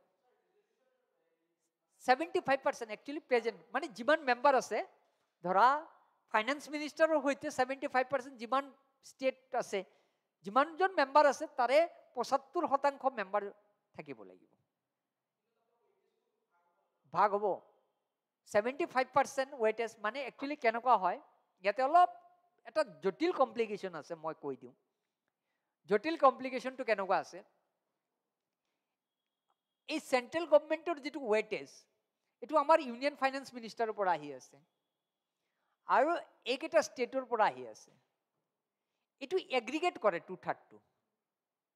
টেকনিকেলি এইটো আজিলৈকে কোনেও গম পোৱা নাই যে এইটো কি এগ্ৰিগেট কৰে টু থাৰ্ড এগ্ৰিগেট কৰে এগ্ৰিগেট কেনেকৈ কৰিব যে চব ষ্টেটৰ যিটো ভোটিং আছে সেইটো টু থাৰ্ডত এগ্ৰিগেট কৰিব এটা ইহঁতৰ এটা মেথডলজি আছে যিকোনো এটা ৰিজলিউশ্যন ল'বৰ কাৰণে আজি টেক্স বঢ়াব নে কমাব এই লৈ যদি ৰিজলিউশ্যন ল'ব ল'ব লগা হয় ছেভেণ্টি ফাইভ পাৰ্চেণ্ট মেম্বাৰ থাকিবইতো লাগিবই union minister one third union মিনিষ্টাৰে ক'লে ইয়েছ বঢ়াব লাগে বঢ়াব লাগে তাৰমানে ইউনিয়নৰ পৰা ওৱান থাৰ্ড আহি গ'ল মই চিম্পুল এটা এক্সাম্পল লৈছোঁ যে পাৰ্টিকুলাৰ কিবা এটা বস্তু টেক্স বঢ়াব লাগে সন্মতি দিলে ইউনিয়ন ফাইনেন্স মিনিষ্টাৰ নিৰ্মলা সীতাৰামে তাত মিনছ ওৱান থাৰ্ড ৱেটেজ আহি গ'ল মানে বঢ়াব লগাৰ ক্ষেত্ৰত এতিয়া বাকী থাকিল টু থাৰ্ড এই টু থাৰ্ডটো বিভিন্ন মেম্বাৰ যিবিলাক থাকিব ষ্টেটৰ তাৰে পৰা কেলকুলেশ্যন হ'ব কোনোবাই ক'ব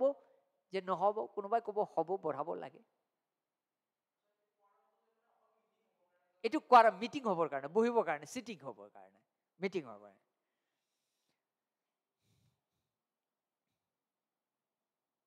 আচ্ছা এটা G S T appellate tribunal হৈছিল অলপ লিখি লোৱা ফটাফট G S T appellate tribunal A double P L E A double P E L A T E, appellate tribune, tribunal.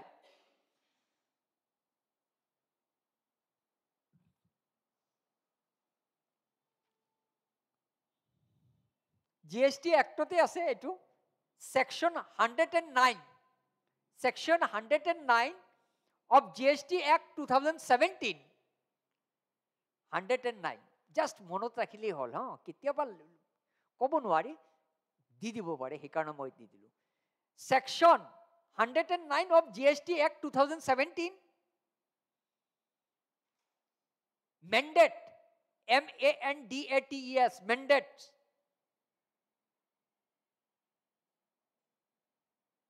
to constitute G S T GST, GST Appellate Tribunal. GST Appellate Tribunal. Tribunal বনাব দিছিল এইটো এটা বহুত important এই বস্তুটো জানি থোৱা national anti profiteering national anti profiteering anti profiteering authority authority, could and could.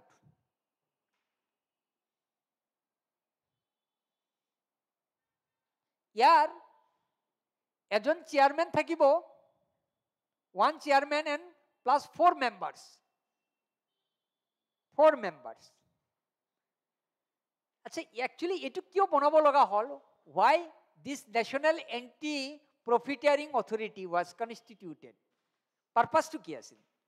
পাৰ্পাছটো আছিল after implementing G S T বহুত জি এছ টি ৰেট কমোৱা হৈছে বহুত আইটেমৰ ওপৰত বুজিবা বহুত আইটেমৰ ওপৰত জি এছ টি ৰেট কমোৱা হৈছে আৰু আই জি এছ টিৰ বেনিফিটবিলাক আল্টিমেট কাষ্টমাৰে পাইছে নে নাই তাক ইনচিয়'ৰ কৰিবৰ কাৰণে বুজি পালা That means National Anti-Profiteering Authority was constituted for the purpose of getting benefit for the reduction of tax rate. এটু এই rate tax rate GST rate কমিছে সে খাদির কারণে জিরো পার্সেন্ট খাদির কারণে জিরো পার্সেন্ট এতিয়া তুমি আল্টিমেট কনজুমার খাদিত গৈছা তুমি খাদিৰ পৰা কিবা কিনিছা কিন্তু তোমাৰ ওপৰত জি এছ টি আহি গৈছে তুমি সেইখন শ্লিপ লৈ নেশ্যনেল এণ্টি প্ৰফিটাৰিং অথৰিটিত গৈ যদি কমপ্লেইন লগাই দিয়া তেতিয়াহ'লে কেচ হ'ব যে খাদীৰ প্ৰডাক্টৰ ওপৰত জি এছ টি নাই জি এছ টি লৈছে চ' এনেকুৱা বহুত সামগ্ৰীৰ জি এছ টি কমোৱা হৈছে আল্টিমেটলি ইয়াৰ বেনিফিট আল্টিমেট কনজিউমাৰলৈকে গৈ পাইছে নে নাই তাক ইনচিয়'ৰ কৰিবৰ কাৰণে নেশ্যনেল এণ্টি প্ৰফিটাৰিং অথৰিটি বনোৱাব লগা হৈছে য'ত নেকি এজন চেয়াৰমেন চাৰিজন মেম্বাৰৰ সৈতে আৰু আই টি চি অলপ আগতে পাইছোঁনে input tax credit I T C যিটো পাই আহিলোঁ আমি যে আই টি চিৰ বেনিফিট পাইছে নে নাই টেক্স পেয়াৰে তাকো ইনচিয়'ৰ কৰিবৰ কাৰণে নেশ্যনেল এণ্টি প্ৰফিটাৰিং অথৰিটি বনোৱা হৈছে ক্লিয়াৰ হৈছে বেচিক বস্তু নাম শুনিছে নে নাই মই আজি নতুন এনেকুৱা লগা নাইতো শব্দবিলাক একেবাৰে নতুন কৈছোঁ শুনিছাতো ঠিকে লাগিছে চবৰ এনেকৈ বুজিবা হা আৰু অলপ টেক্সৰ সামান্য ৰৈ গৈছে টেক্স শেষ হ'ব আৰু এটা ছেশ্যনত পাব্লিক ফাইনেন্স শেষ হ'ব লাগে এই ইম্পৰ্টেণ্ট বস্তু ৰৈ যায়তো এৰিবও নোৱাৰি এৰিবৰ কাৰণে এৰি দিলে সন্দেহ থাকে যদি সুধি দিয়ে কুৱেশ্যনটো আহি যায় নোৱাৰিলে বেয়া লাগিব ব্ৰাছিং দিবা ঘৰত কণ্টেণ্টক ব্ৰাছিং দিবা বঢ়িয়াকৈ ব্ৰাছিং দিবা Tá bom? Ok, fine.